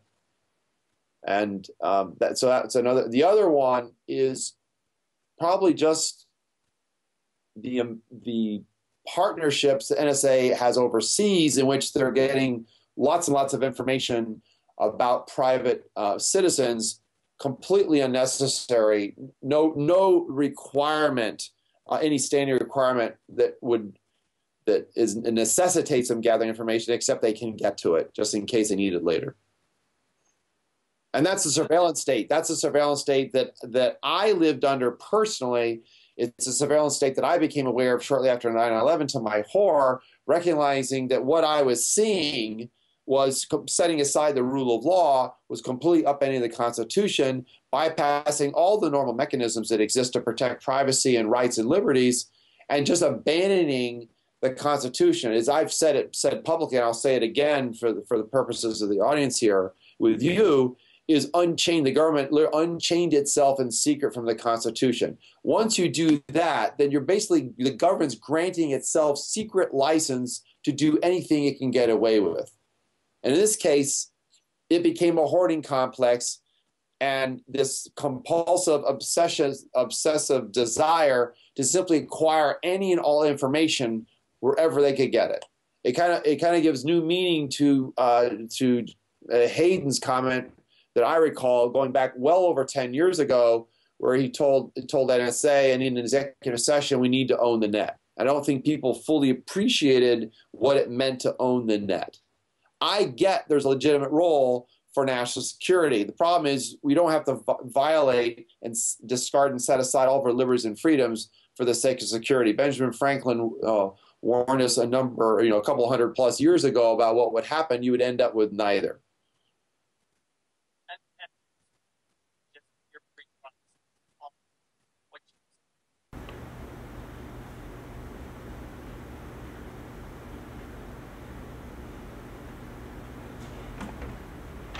And, and, and then so going forward, just your brief thoughts on what you're seeing. Uh, I'll just highlight the effort of, of, of, Senator Ron Wyden because I think it's one of the more admirable things um, that is developing in the aftermath of Edward Snowden. That you, you've seen him come forward with some proposals, um, and but then also Snowden saying that the dissent inside of the NSA is palpable to him. Um, and so, do you think that there there are people inside that are, are at breaking points and that there might be other individuals like him in the not so distant future. I believe that's the case. I believe there'll be others who'll be inspired uh, by Edward Snowden and the, you know, the remarkable lack of courage being convicted by the truth in terms of what he was exposed to. One of the things that's important to note, he's upholding the Constitution. The you know the Constitution is an idea. The Constitution was a promise of liberty and freedom. And it's fundamentally centered on the individual. All the rest, okay, are, are the constraints that are imposed on government. Because for all the faults and the contradictions of the Constitution, they knew that you could not have an out of control executive in particular, and it needed to be constrained. And what happened after 9 11 is the government unconstrained itself. And then it began this assault on the Fourth Amendment which by assault or uh, by assaulting the Fourth Amendment, you ultimately end up taking the Fourth Amendment, turning it against the First, and that's you know that's it's not the kind of future uh, that I that I wish to live. And I think uh, you know if the polls, for what polls are worth, and I'm always extremely skeptical of polls, they certainly are trending in significant favor of, of Snowden. And I also think that's a reflection of kind of the age we're in, uh, recognizing uh, recognizing that there's this thing kind of Amer- in America in particular called fair play, and I think people are realizing the government is is exceeding its bounds. And when you start seeing that not just exceeding its bounds, that it's actually going far beyond even the mandates that it was given, where, where we actually gave the government rather wide berth to pursue the threat. And you're finding out, well, that threat has gone far beyond its original mandate. It's like, hey, everybody's suspicious now. And as I've said publicly, we're all foreigners now. That's that's not the form of a governance that I took the oath to support and defend uh, four times, nor nor is it the one that even Edward Snowden took an oath to support and defend when he used to be a, a CIA employee. He's an oath keeper, not an oath breaker. And unfortunately, in today's world, um, you know, by disclosing the truth, he ended up having to escape the United States. He's on his way to Latin America, you know, through Moscow. And the course, the, what did the U.S. government do? They saw fit to revoke uh, his passport, making him stateless. I was I became stateless, virtually stateless in the United States when my passport was confiscated as a result of my criminal case, and I was severely restricted in terms of my ability to travel. And anytime I went outside the outside the local area, I had to get special permission. So he does live in Russia now under political asylum, but is he truly free? One of the conversations we did have with him is he is looking forward to a time in which he can return to the United States, but that is certainly not the case now. And the irony of all ironies is the one place he now finds himself in is the one place in which he's probably the most secure outside of the United States. Tom Drake is a kind of hero, I think, uh, as a whistleblower, somebody who uh, was in a very high position at the National Security Agency and saw things going on that he thought should be known. He made every effort uh, within channels to uh, reveal some of these excesses and threats to the Constitution. Didn't work. He finally went public. He was prosecuted under the, uh, correct me, by the way, anybody on the panel who can, but uh, he, was, he was prosecuted under the Espionage Act. That turned out to be a, an impossible prosecution. And uh, back and forth legally, he eventually beat the rap, if you want to put it that way. He's a free man, but his career has been massively hurt. He's working in an Apple store. The reason he had to do this um, interview late last night was he did it after work. And um, so uh, what he did recently was to go to Russia uh, to meet with Snowden. He went with some other former intelligence people like Ray McGovern, and they presented an award to Edward Snowden and talked to him about his life there and why he did what he did. And um, I think he would have told us a bit about that. If you watch Democracy Now!, you saw him recently, did an interview with Amy Goodman, and I'm sure there's a number of other uh, media um, representations of his reactions to, to his recent experience. But basically, it was to show support for Snowden from people who were also whistleblowers who have felt the impact of uh, the risk that they took. And different ones have experienced different consequences. I suppose, obviously, the most severe is uh, uh, Chelsea Manning, but um, others in different degrees of punishment or uh, crushing of their, of their lives. So Snowden is presumably now uh, unable to come back to the U.S. He has explained himself very clearly to them uh, uh, about why he did what he did and that he is not a spy working for the Russians. He hasn't turned over any intelligence material to them. Basically, he gave the world uh, this information about NSA uh, because he believed it was his patriotic duty. And he's paying a very high price.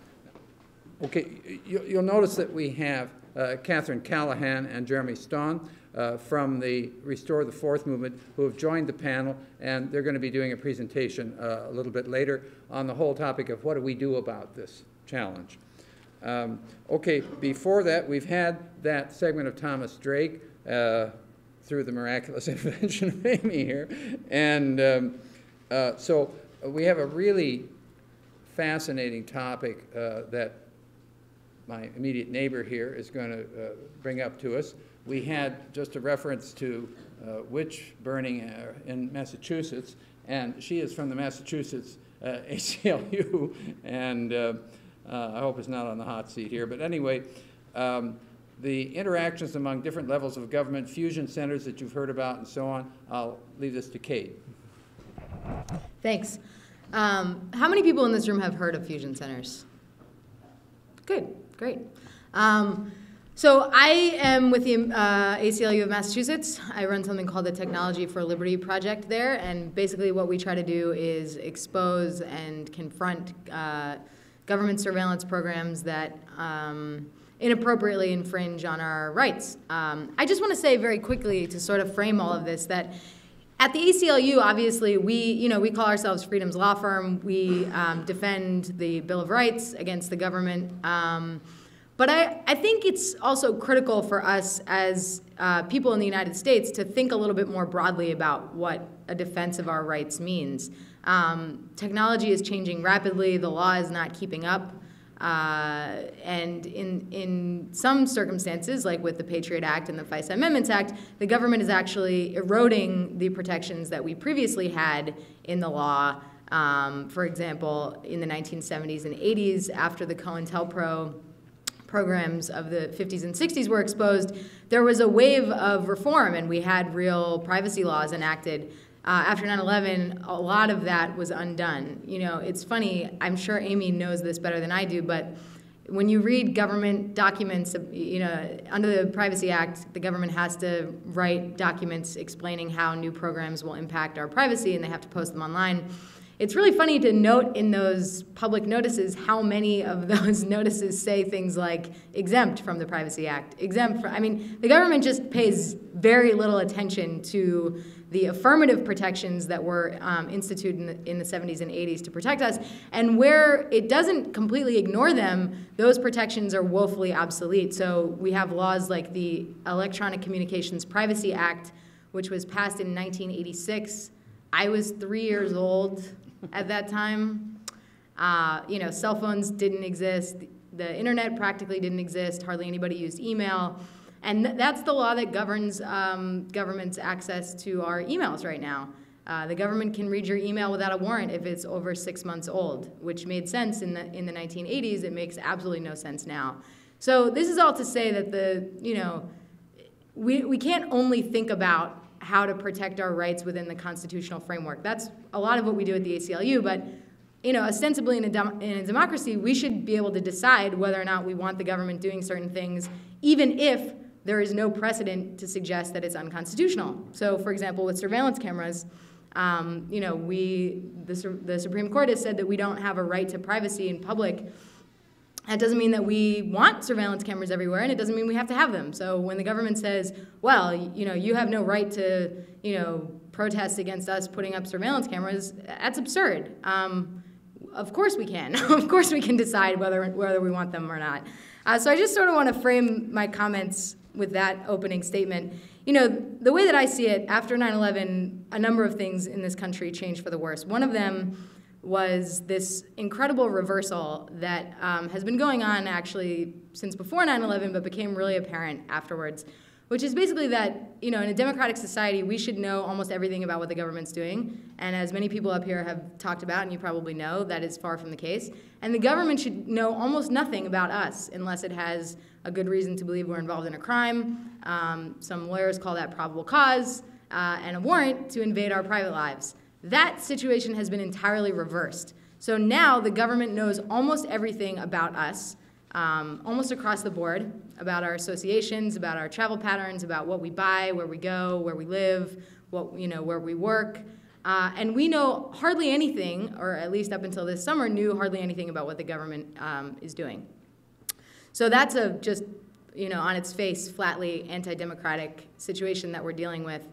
The other thing that happened after 9/11, and this is what I'm going is going to constitute the bulk of my comments, is a flood of money from the federal government to state and local police departments throughout the country, um, mostly through programs run by the Department of Homeland Security, which was a the lar- it is the largest government bureaucracy. Um, there are numerous organizations that were folded into it after 9/11 ostensibly because one of the problems that the 9-11 Commission report identified is that the government was bad at sharing information. Uh, so, you know, putting all of these agencies under one roof was supposedly supposed to help with that. Um, in fact, you know, 10 years after, 11 years after 9-11, we see all sorts of congressional reports suggesting that um, DHS actually shouldn't really exist. Uh, you know, that the mission of the organization is really confused, especially the so called counterterrorism mission, that they duplicate a lot of the work that the FBI has been doing and does, um, and that they produce a lot of crap intelligence uh, that is mucking up the counterterrorism world instead of helping um, analysts drill down to find really danger, dangerous people. So, just a couple numbers for you. Since 9 11, or rather since 2003, when DHS was established, uh, the Department of Homeland Security has doled out th- over $35 billion to state and local law enforcement. And this money has been spent on all sorts of things. From the, if you look at, at the documents, some of which are public um, in a project that Mike has been running called Spy Files, that the ACLU of Massachusetts has contributed heavily to, there are like seven or so investment areas that DHS provides funds to state and local authorities for um, around counterterrorism stuff. And among them are things like chemical and biological and nuclear weapons uh, detection programs. Some of them are uh, search and rescue operation training and uh, coordination programs. The ACLU is not concerned. In fact, I personally, as a citizen, support the government spending money um, helping fire departments and police departments train for you know catastrophes and things like that. But a huge portion of this money has been spent building these so-called fusion centers, these little spy centers that are all over the country. We have two of them in Massachusetts. Many states have more than one. Um, have a lot of this money has been invested in surveillance camera networks, including here in Chicago, where $46 million was spent on Project Shield, which ended up being a colossal failure.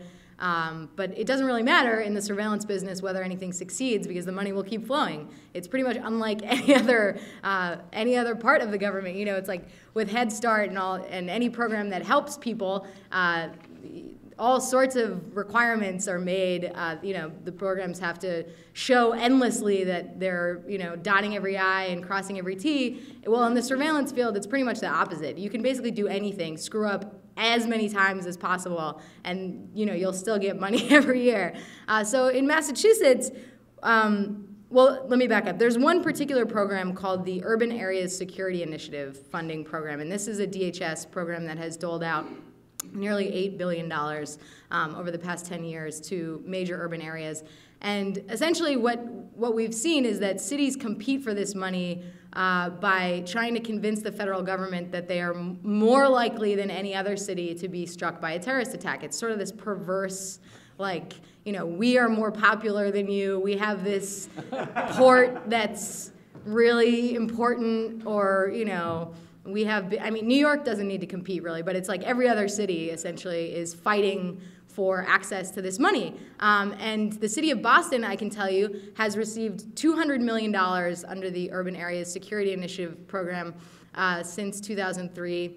And it's pretty clear to everybody in the city of Boston that all of the money that was spent on surveillance cameras, on the Boston Regional Intelligence Center, uh, which is the fusion center in Massachusetts, in Boston, which is run by the Boston Police Department, um, on you know, purchasing access to private and government databases for these uh, detectives and analysts who sit in the BRIC um, to look up any and all available information about anybody they want.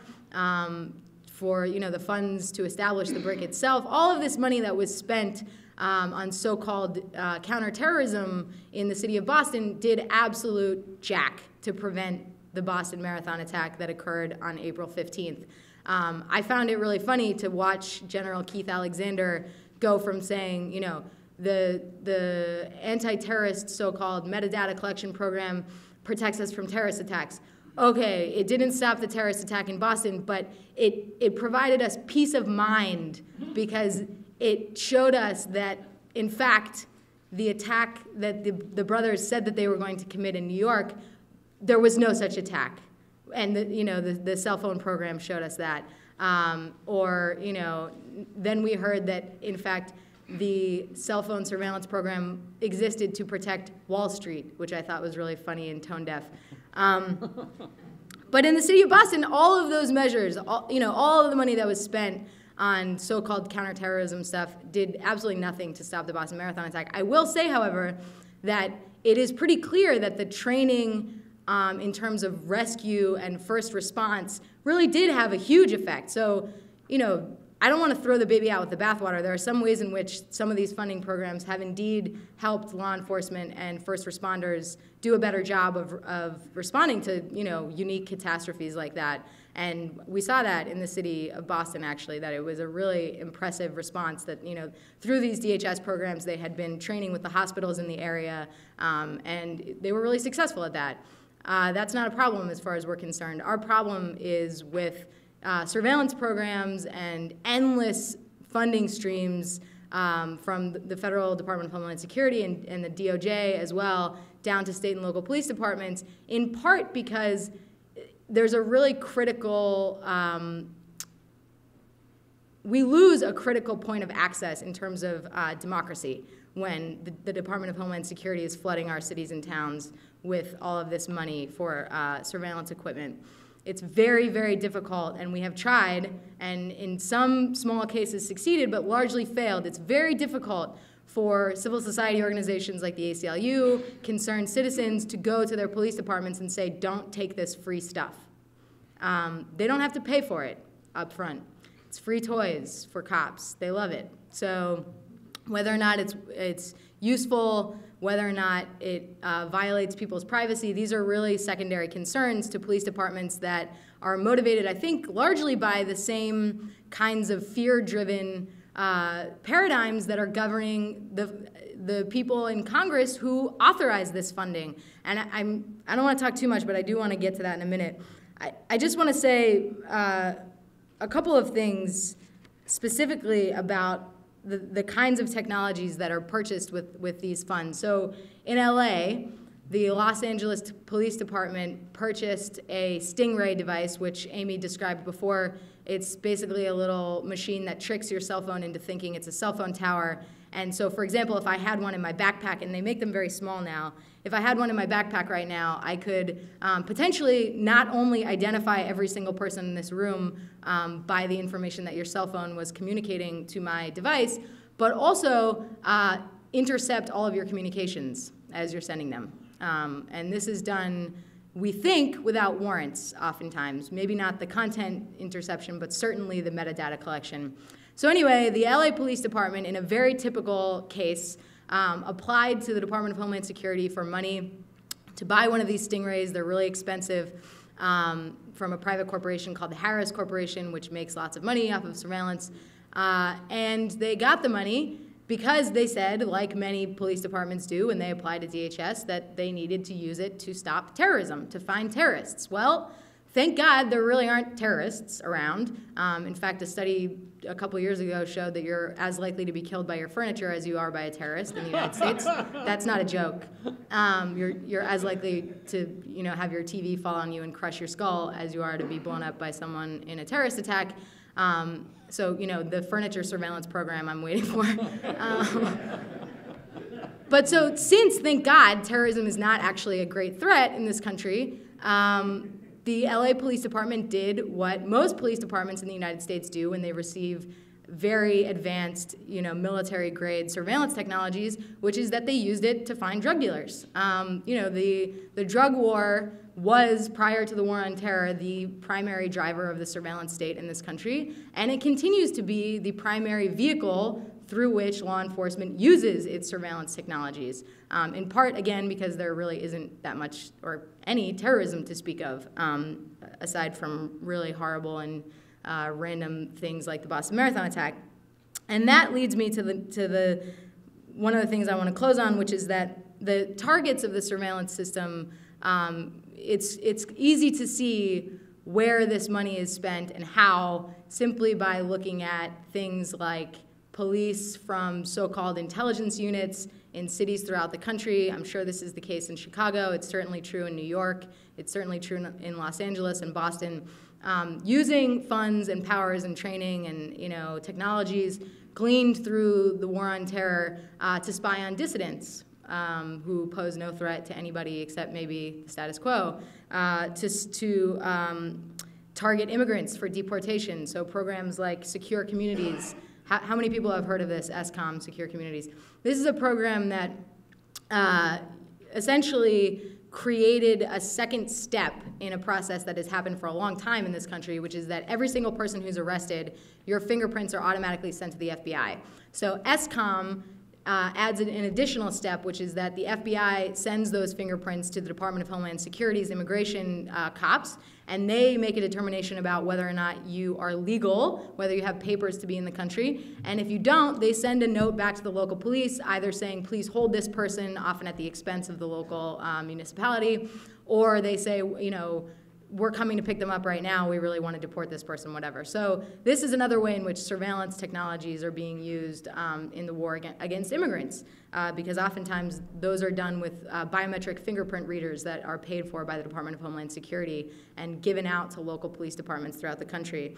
And that, that raises a really critical issue, actually, which is that there's a sort of unspoken quid pro quo that goes on um, when, the, when the federal government gives in the billions and billions of dollars uh, money for the purchase of surveillance technologies to state and local departments is that they get a return on that investment in, in the sense that their reach is expanded massively. They can collect way more information about us through the local police than they could on their own. And this extends way beyond, you know, the records that the NSA is collecting about us to records uh, showing where we've driven everywhere we go because of automatic license plate readers that were, you know, pushed massively by the Department of Homeland Security through their grant programs, uh, through technologies like the Stingray, through technologies like electronic fingerprint readers and mobile biometric scanners that are now in use um, in Massachusetts even. So immigrants, you know, it's the same targets as usual, right? Poor people, people of color uh, in the drug war, um, certainly dissidents, and obviously Muslims. Um, the, the war on terror has spawned really just virulent uh, Islamophobia. It, you know, Mike could probably talk about some of the ways in which the um, law enforcement communities have really not dealt with the Muslim community appropriately and have uh, zeroed in, I think, to the exclusion of public safety, actually, on Muslims who are not doing anything wrong, simply are religious. Um, there are so many things I could say. I guess the last thing I want to tell you is that I think what we're up against, really, um, in Congress with respect to all of these programs, uh, the DHS funding programs down to state and local law enforcement for the purchase of you know, expensive surveillance technology, for the militarization of the police, which is something that we haven't really touched on but is totally connected to all of this, is a cover your ass mentality in DC. I really believe that. Um, I don't necessarily think that there's some sort of sinister plot coming from DC to impose a surveillance state so that the government can control all of us and read our minds or whatever.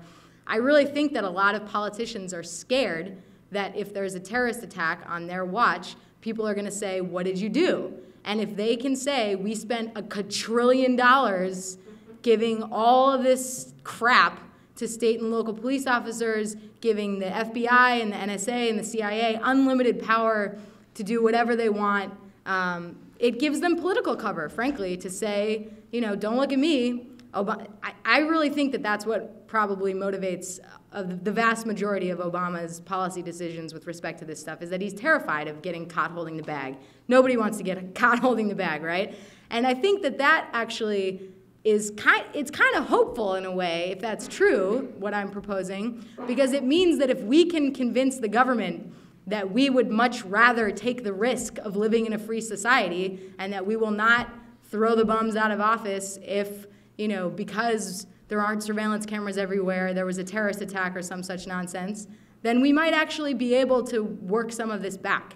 Um, so there's the cover your ass part. There's institutional self-protection, which is really just a problem of bureaucracy. Um, but now that the Department of Homeland Security exists, I think it's going to be very, very difficult for us to get it out, uh, which I strongly believe we should do. I don't think the Department of Homeland Security should exist.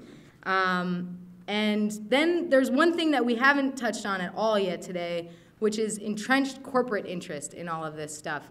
Uh, the military industrial complex that Eisenhower warned about many years ago has turned into a domestic military surveillance industrial complex. Um, this is a, an industry that uh, makes billions and billions and billions of dollars a year off of the destruction of our privacy, and these people are not going to go lightly. Um, you know, money is a is a really strong motivating factor in all of this, especially when you consider that 70%, a full 70% of the U.S. intelligence budget is um, spent on private contractors, uh, and that's how we get people like Ed Snowden, who was working for Booz Allen in Hawaii, um, with access to you know the most secret of the NSA's documents. Uh, 70, a full 70% of that is contracted out. And that brings me to my final point. I'm sorry, I know I spoke a lot, which is about secrecy. Um, it's very, very, very important that we learn about what the government is doing uh, at the local level with respect to surveillance, at the state level, and certainly at the federal level. And I just want to illustrate that for you uh, very clearly. It is illustrated by the, the first leak that was published from Edward Snowden's trove, which was the Verizon business order. And this is a really great story because it's, it, it has a fun twist. Um, the ACLU challenged the FISA Amendments Act the day it was signed into law in July, I believe, 2008. Uh, that is the law that, inst that institutionalized Bush's warrantless wiretapping program. And we just this past March, I think, or February, yeah, just this past February, we were kicked out of court uh, in the Supreme Court. That lawsuit is done. And the reason that we couldn't challenge the FISA Amendments Act, the, the court said, is because it agreed with the government. We could not prove that our clients, among them human rights attorneys, journalists who communicate with terrorist suspects or their families overseas, lawyers for Gitmo detainees, we couldn't prove that any of these people had been spied on under the FISA Amendments Act um, authorization. And we couldn't prove it because surveillance is secret, naturally, and we didn't have any of the transcripts. Uh, the NSA, shockingly, didn't want to give them to us. Um, and so this is really, this, this shows how critical transparency is and these leaks are when it comes to challenging these programs in court. We are finally going to be able to challenge on the merits which is to say the court will actually have to rule on whether or not this law, this now the one that I'm talking about now is Section 215 of the Patriot Act, is constitutional or not, because we have absolutely, you know, you can't the government cannot argue with the proof that we have that they have been collecting this information about not simply all Verizon business customers, but the ACLU itself. And that's really fun because Verizon uh, provides telecom stuff for the ACLU in New York at Broad Street, at, at our offices in New York City, in, in the financial district. And so the ACLU is now suing the NSA um, on behalf of itself, which is really fun. Um, so that we have a client, us, we have proof that the uh, program that we are challenging the constitutionality of impacted our attorney's privacy by you know collecting all of their self uh, uh, all of their associational information you know who they call and when um, and so finally we're going to get to the point we hope where the court will have to address the legality of this issue and that is really a critical um, example of how secrecy shrouds accountability or, or prevents accountability, um, not just in the courts, but also in the court of public opinion. As Mike said, it's absolutely impossible for the public to assess um, whether or not we want these programs to exist when we don't know what they really do. Um, and I'll just finish by saying that it's clear to the people of Boston that the so-called terrorist surveillance program is garbage. Uh, it did not protect us from the uh, Boston Marathon attack. You know, the cell phone surveillance program certainly provided no respite for the people who were killed that day or, you know, lost their limbs.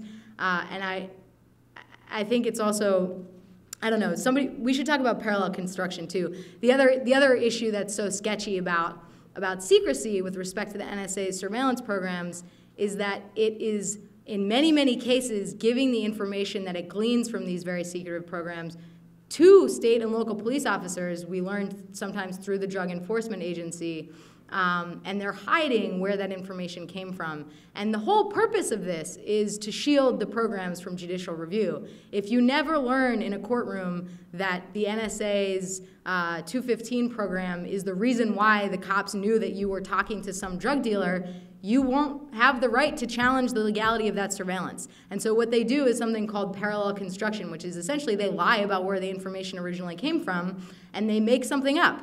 Uh, they spy on you in a different way. They say, "Oh, we just so happened to, you know, come across information about this person in another case or whatever."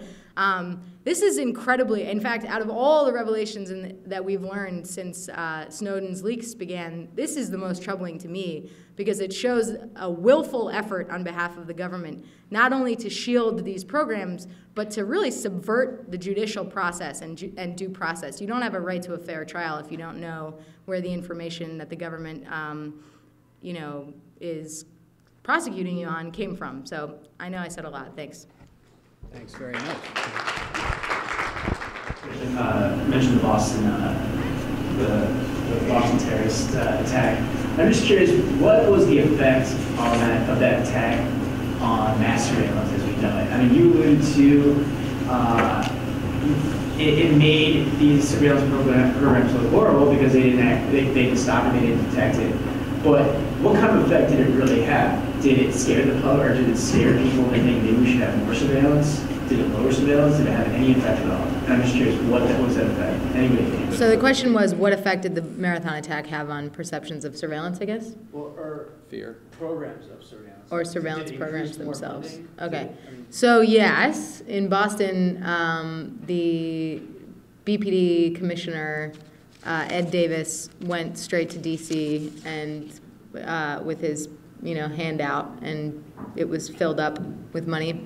Um, so we just got 200 million. No, sorry, that's the total. We just got 18 million dollars this year from DHS, uh, the city of Boston, for terrorism stuff. And I think $2 million of that is going to go to the Fusion Center, and 2 million is going to be spent on more surveillance cameras.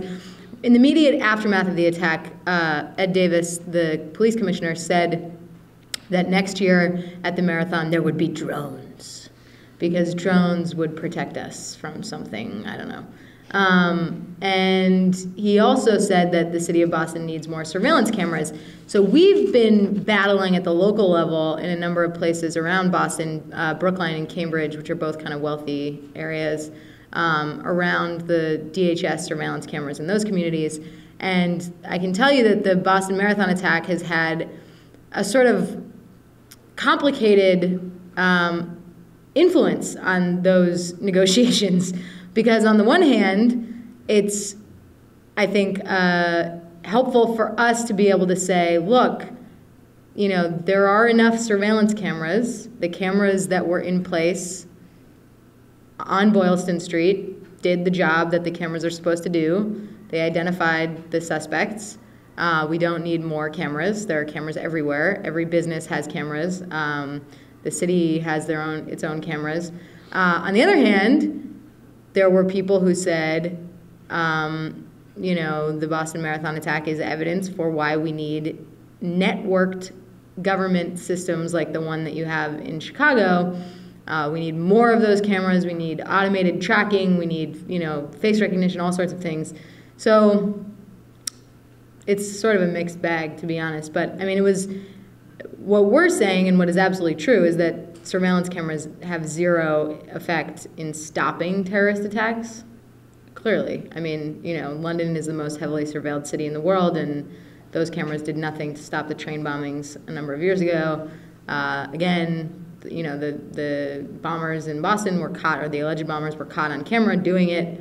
Certainly didn't stop them from doing it. So it's a mixed bag, I guess. And keep in mind, I mean, one important point about the cameras, they also misidentified many innocent people who even appeared on the front pages of newspapers as the person who did it. And people tend to forget that. Yeah. It took several days before the start, before the correct people were, were identified in those cameras. A lot of people were falsely accused before that. And I'll just add on Capitol Hill, it's been interesting. Uh, we actually had um, several members of Congress go over to Russia. Think of that.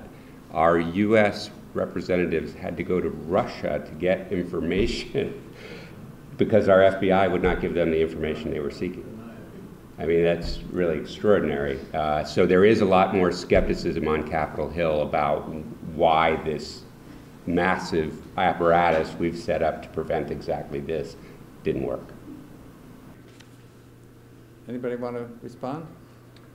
Uh, Mike, you rephrase it a little bit further. Sure. Uh, so let me take the second one first, which is the characterization of the period between the, the church committee era reforms and 9-11 as being good for the Fourth Amendment, because you're right, the Supreme Court uh, decisions uh, in, in Smith and Miller, which are the third party doctrine, that if a third party has your records, your bank, your telephone company, your medical provider, then you have no Fourth Amendment interest in those records, is what is the support for this argument that every document is relevant and the government has the right to access. Um, and, you know, I, I think it, looking back at that period is interesting how, and, and I think should be an empowering moment for us because when the Supreme Court decided that, that's when the Electronic Communications Privacy Act came out. That you know that the American public said, "Oh, the Fourth Amendment doesn't protect us." Well, Congressman, I want to make sure we're protected, and, and you know, so laws were put in place to protect us, and obviously those laws have been weakened over time and reinterpreted. Uh, but you know, even where the Supreme Court fails us, uh, that's why we have Congress, and and they can pass laws that that will uh, correct those decisions. So the question was, um, what proposals are on the table to reform the FISA court? The Foreign Intelligence Surveillance Court was set up in 1978 in order to approve surveillance, um, not to interpret law, which is, again, I'm, i can speak generally on what's on the table. I think Mike would have to speak about the specific proposals. But one of the things that's out there is making sure that the FISA court cannot interpret the law and issue opinions that change um, the standards under the law and therefore are secret law because the FISA court operates totally in secret. Um, you actually cannot even get off the elevator on the floor of the district courthouse where the FISA court is, or if you do happen to get off on that floor, you are directed to get right back onto the elevator and to continue on your way. That's how secret the court is.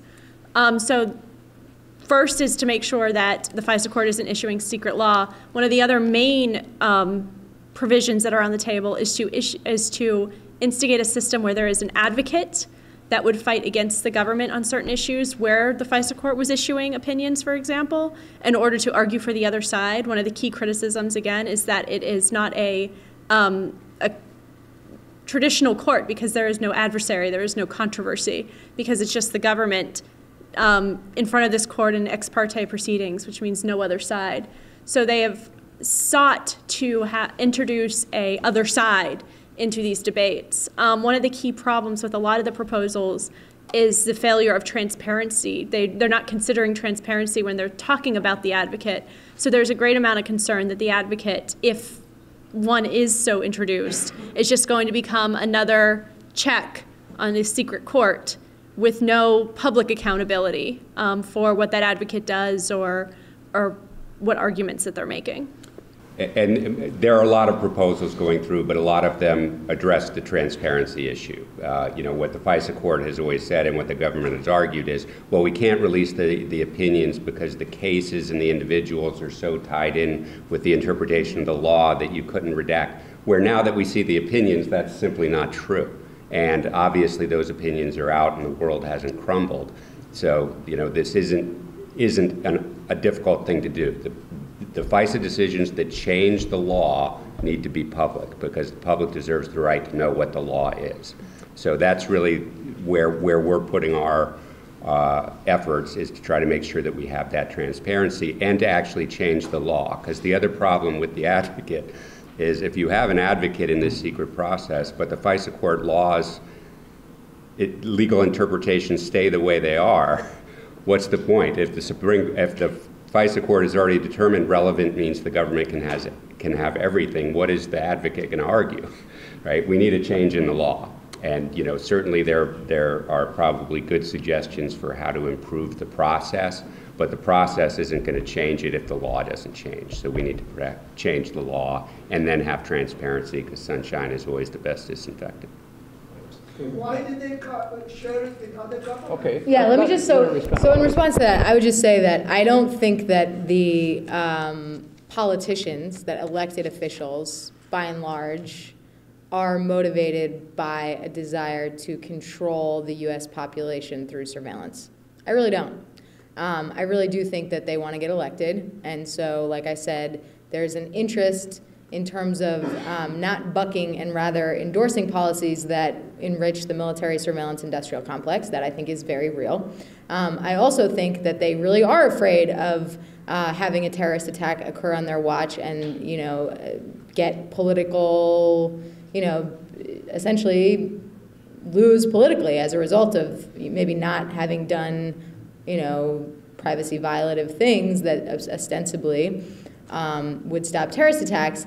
And I, I kind of agree with, I think, a part of what you're saying, which is to say that I think that the intelligence agencies themselves actually do crave power at the expense of civil liberties. And I think that they do understand that all of these surveillance powers are much more about political control and the maintenance of the status quo and not really about terrorism.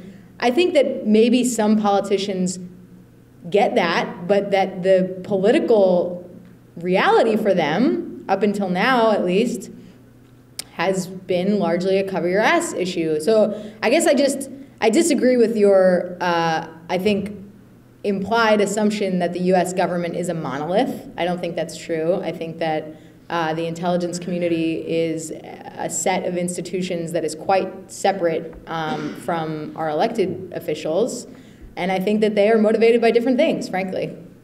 Anybody else wanted to comment on that? Just quickly, and I think it's because I have ACLU to my left and my right, so they're rubbing off on me.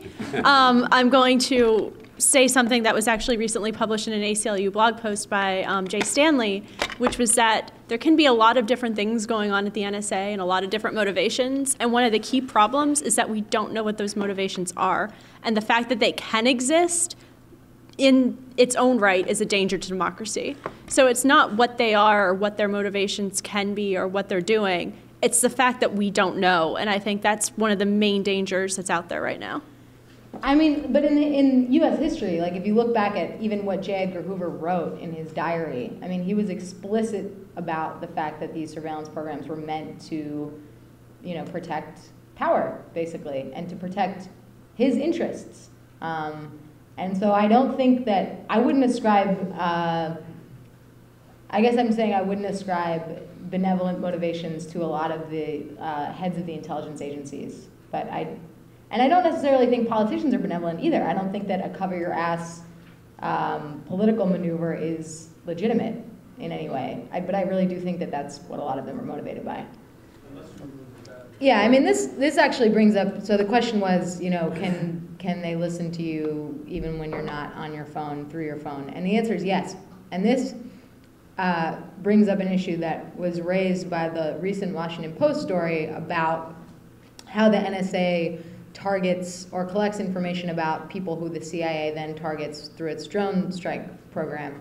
Um, I, th- I thought that the most important part of that story was actually that the Washington Post journalists found in the NSA's own records zero reference to the 215 program or the 702 program. These are the mass surveillance programs that organizations like the ACLU are trying to fight. Um, zero reference in these targeting documents. So when the, when the government actually wants to go after someone who it really thinks is a dangerous terrorist, they don't use these mass surveillance programs. They use malware. Uh, they drill down into specific machines. It's very targeted. They go after specific computers, uh, specific internet networks, specific phones, um, and pull out information on very specific people, which I think you know, is a little scary in the sense that if you're a target, you're basically screwed. There's nothing you can do to protect your privacy. They will get all of your information. Um, but it buttresses our arguments about how these mass surveillance programs, in fact, are about control and not security, because even when the NSA knows, you know, goes after someone very specific, it's not they're not using these mass surveillance programs to do it. They're using highly targeted malware programs that do what you just described, basically, and many other things. All of you, thank our wonderful panel. Uh, I've been-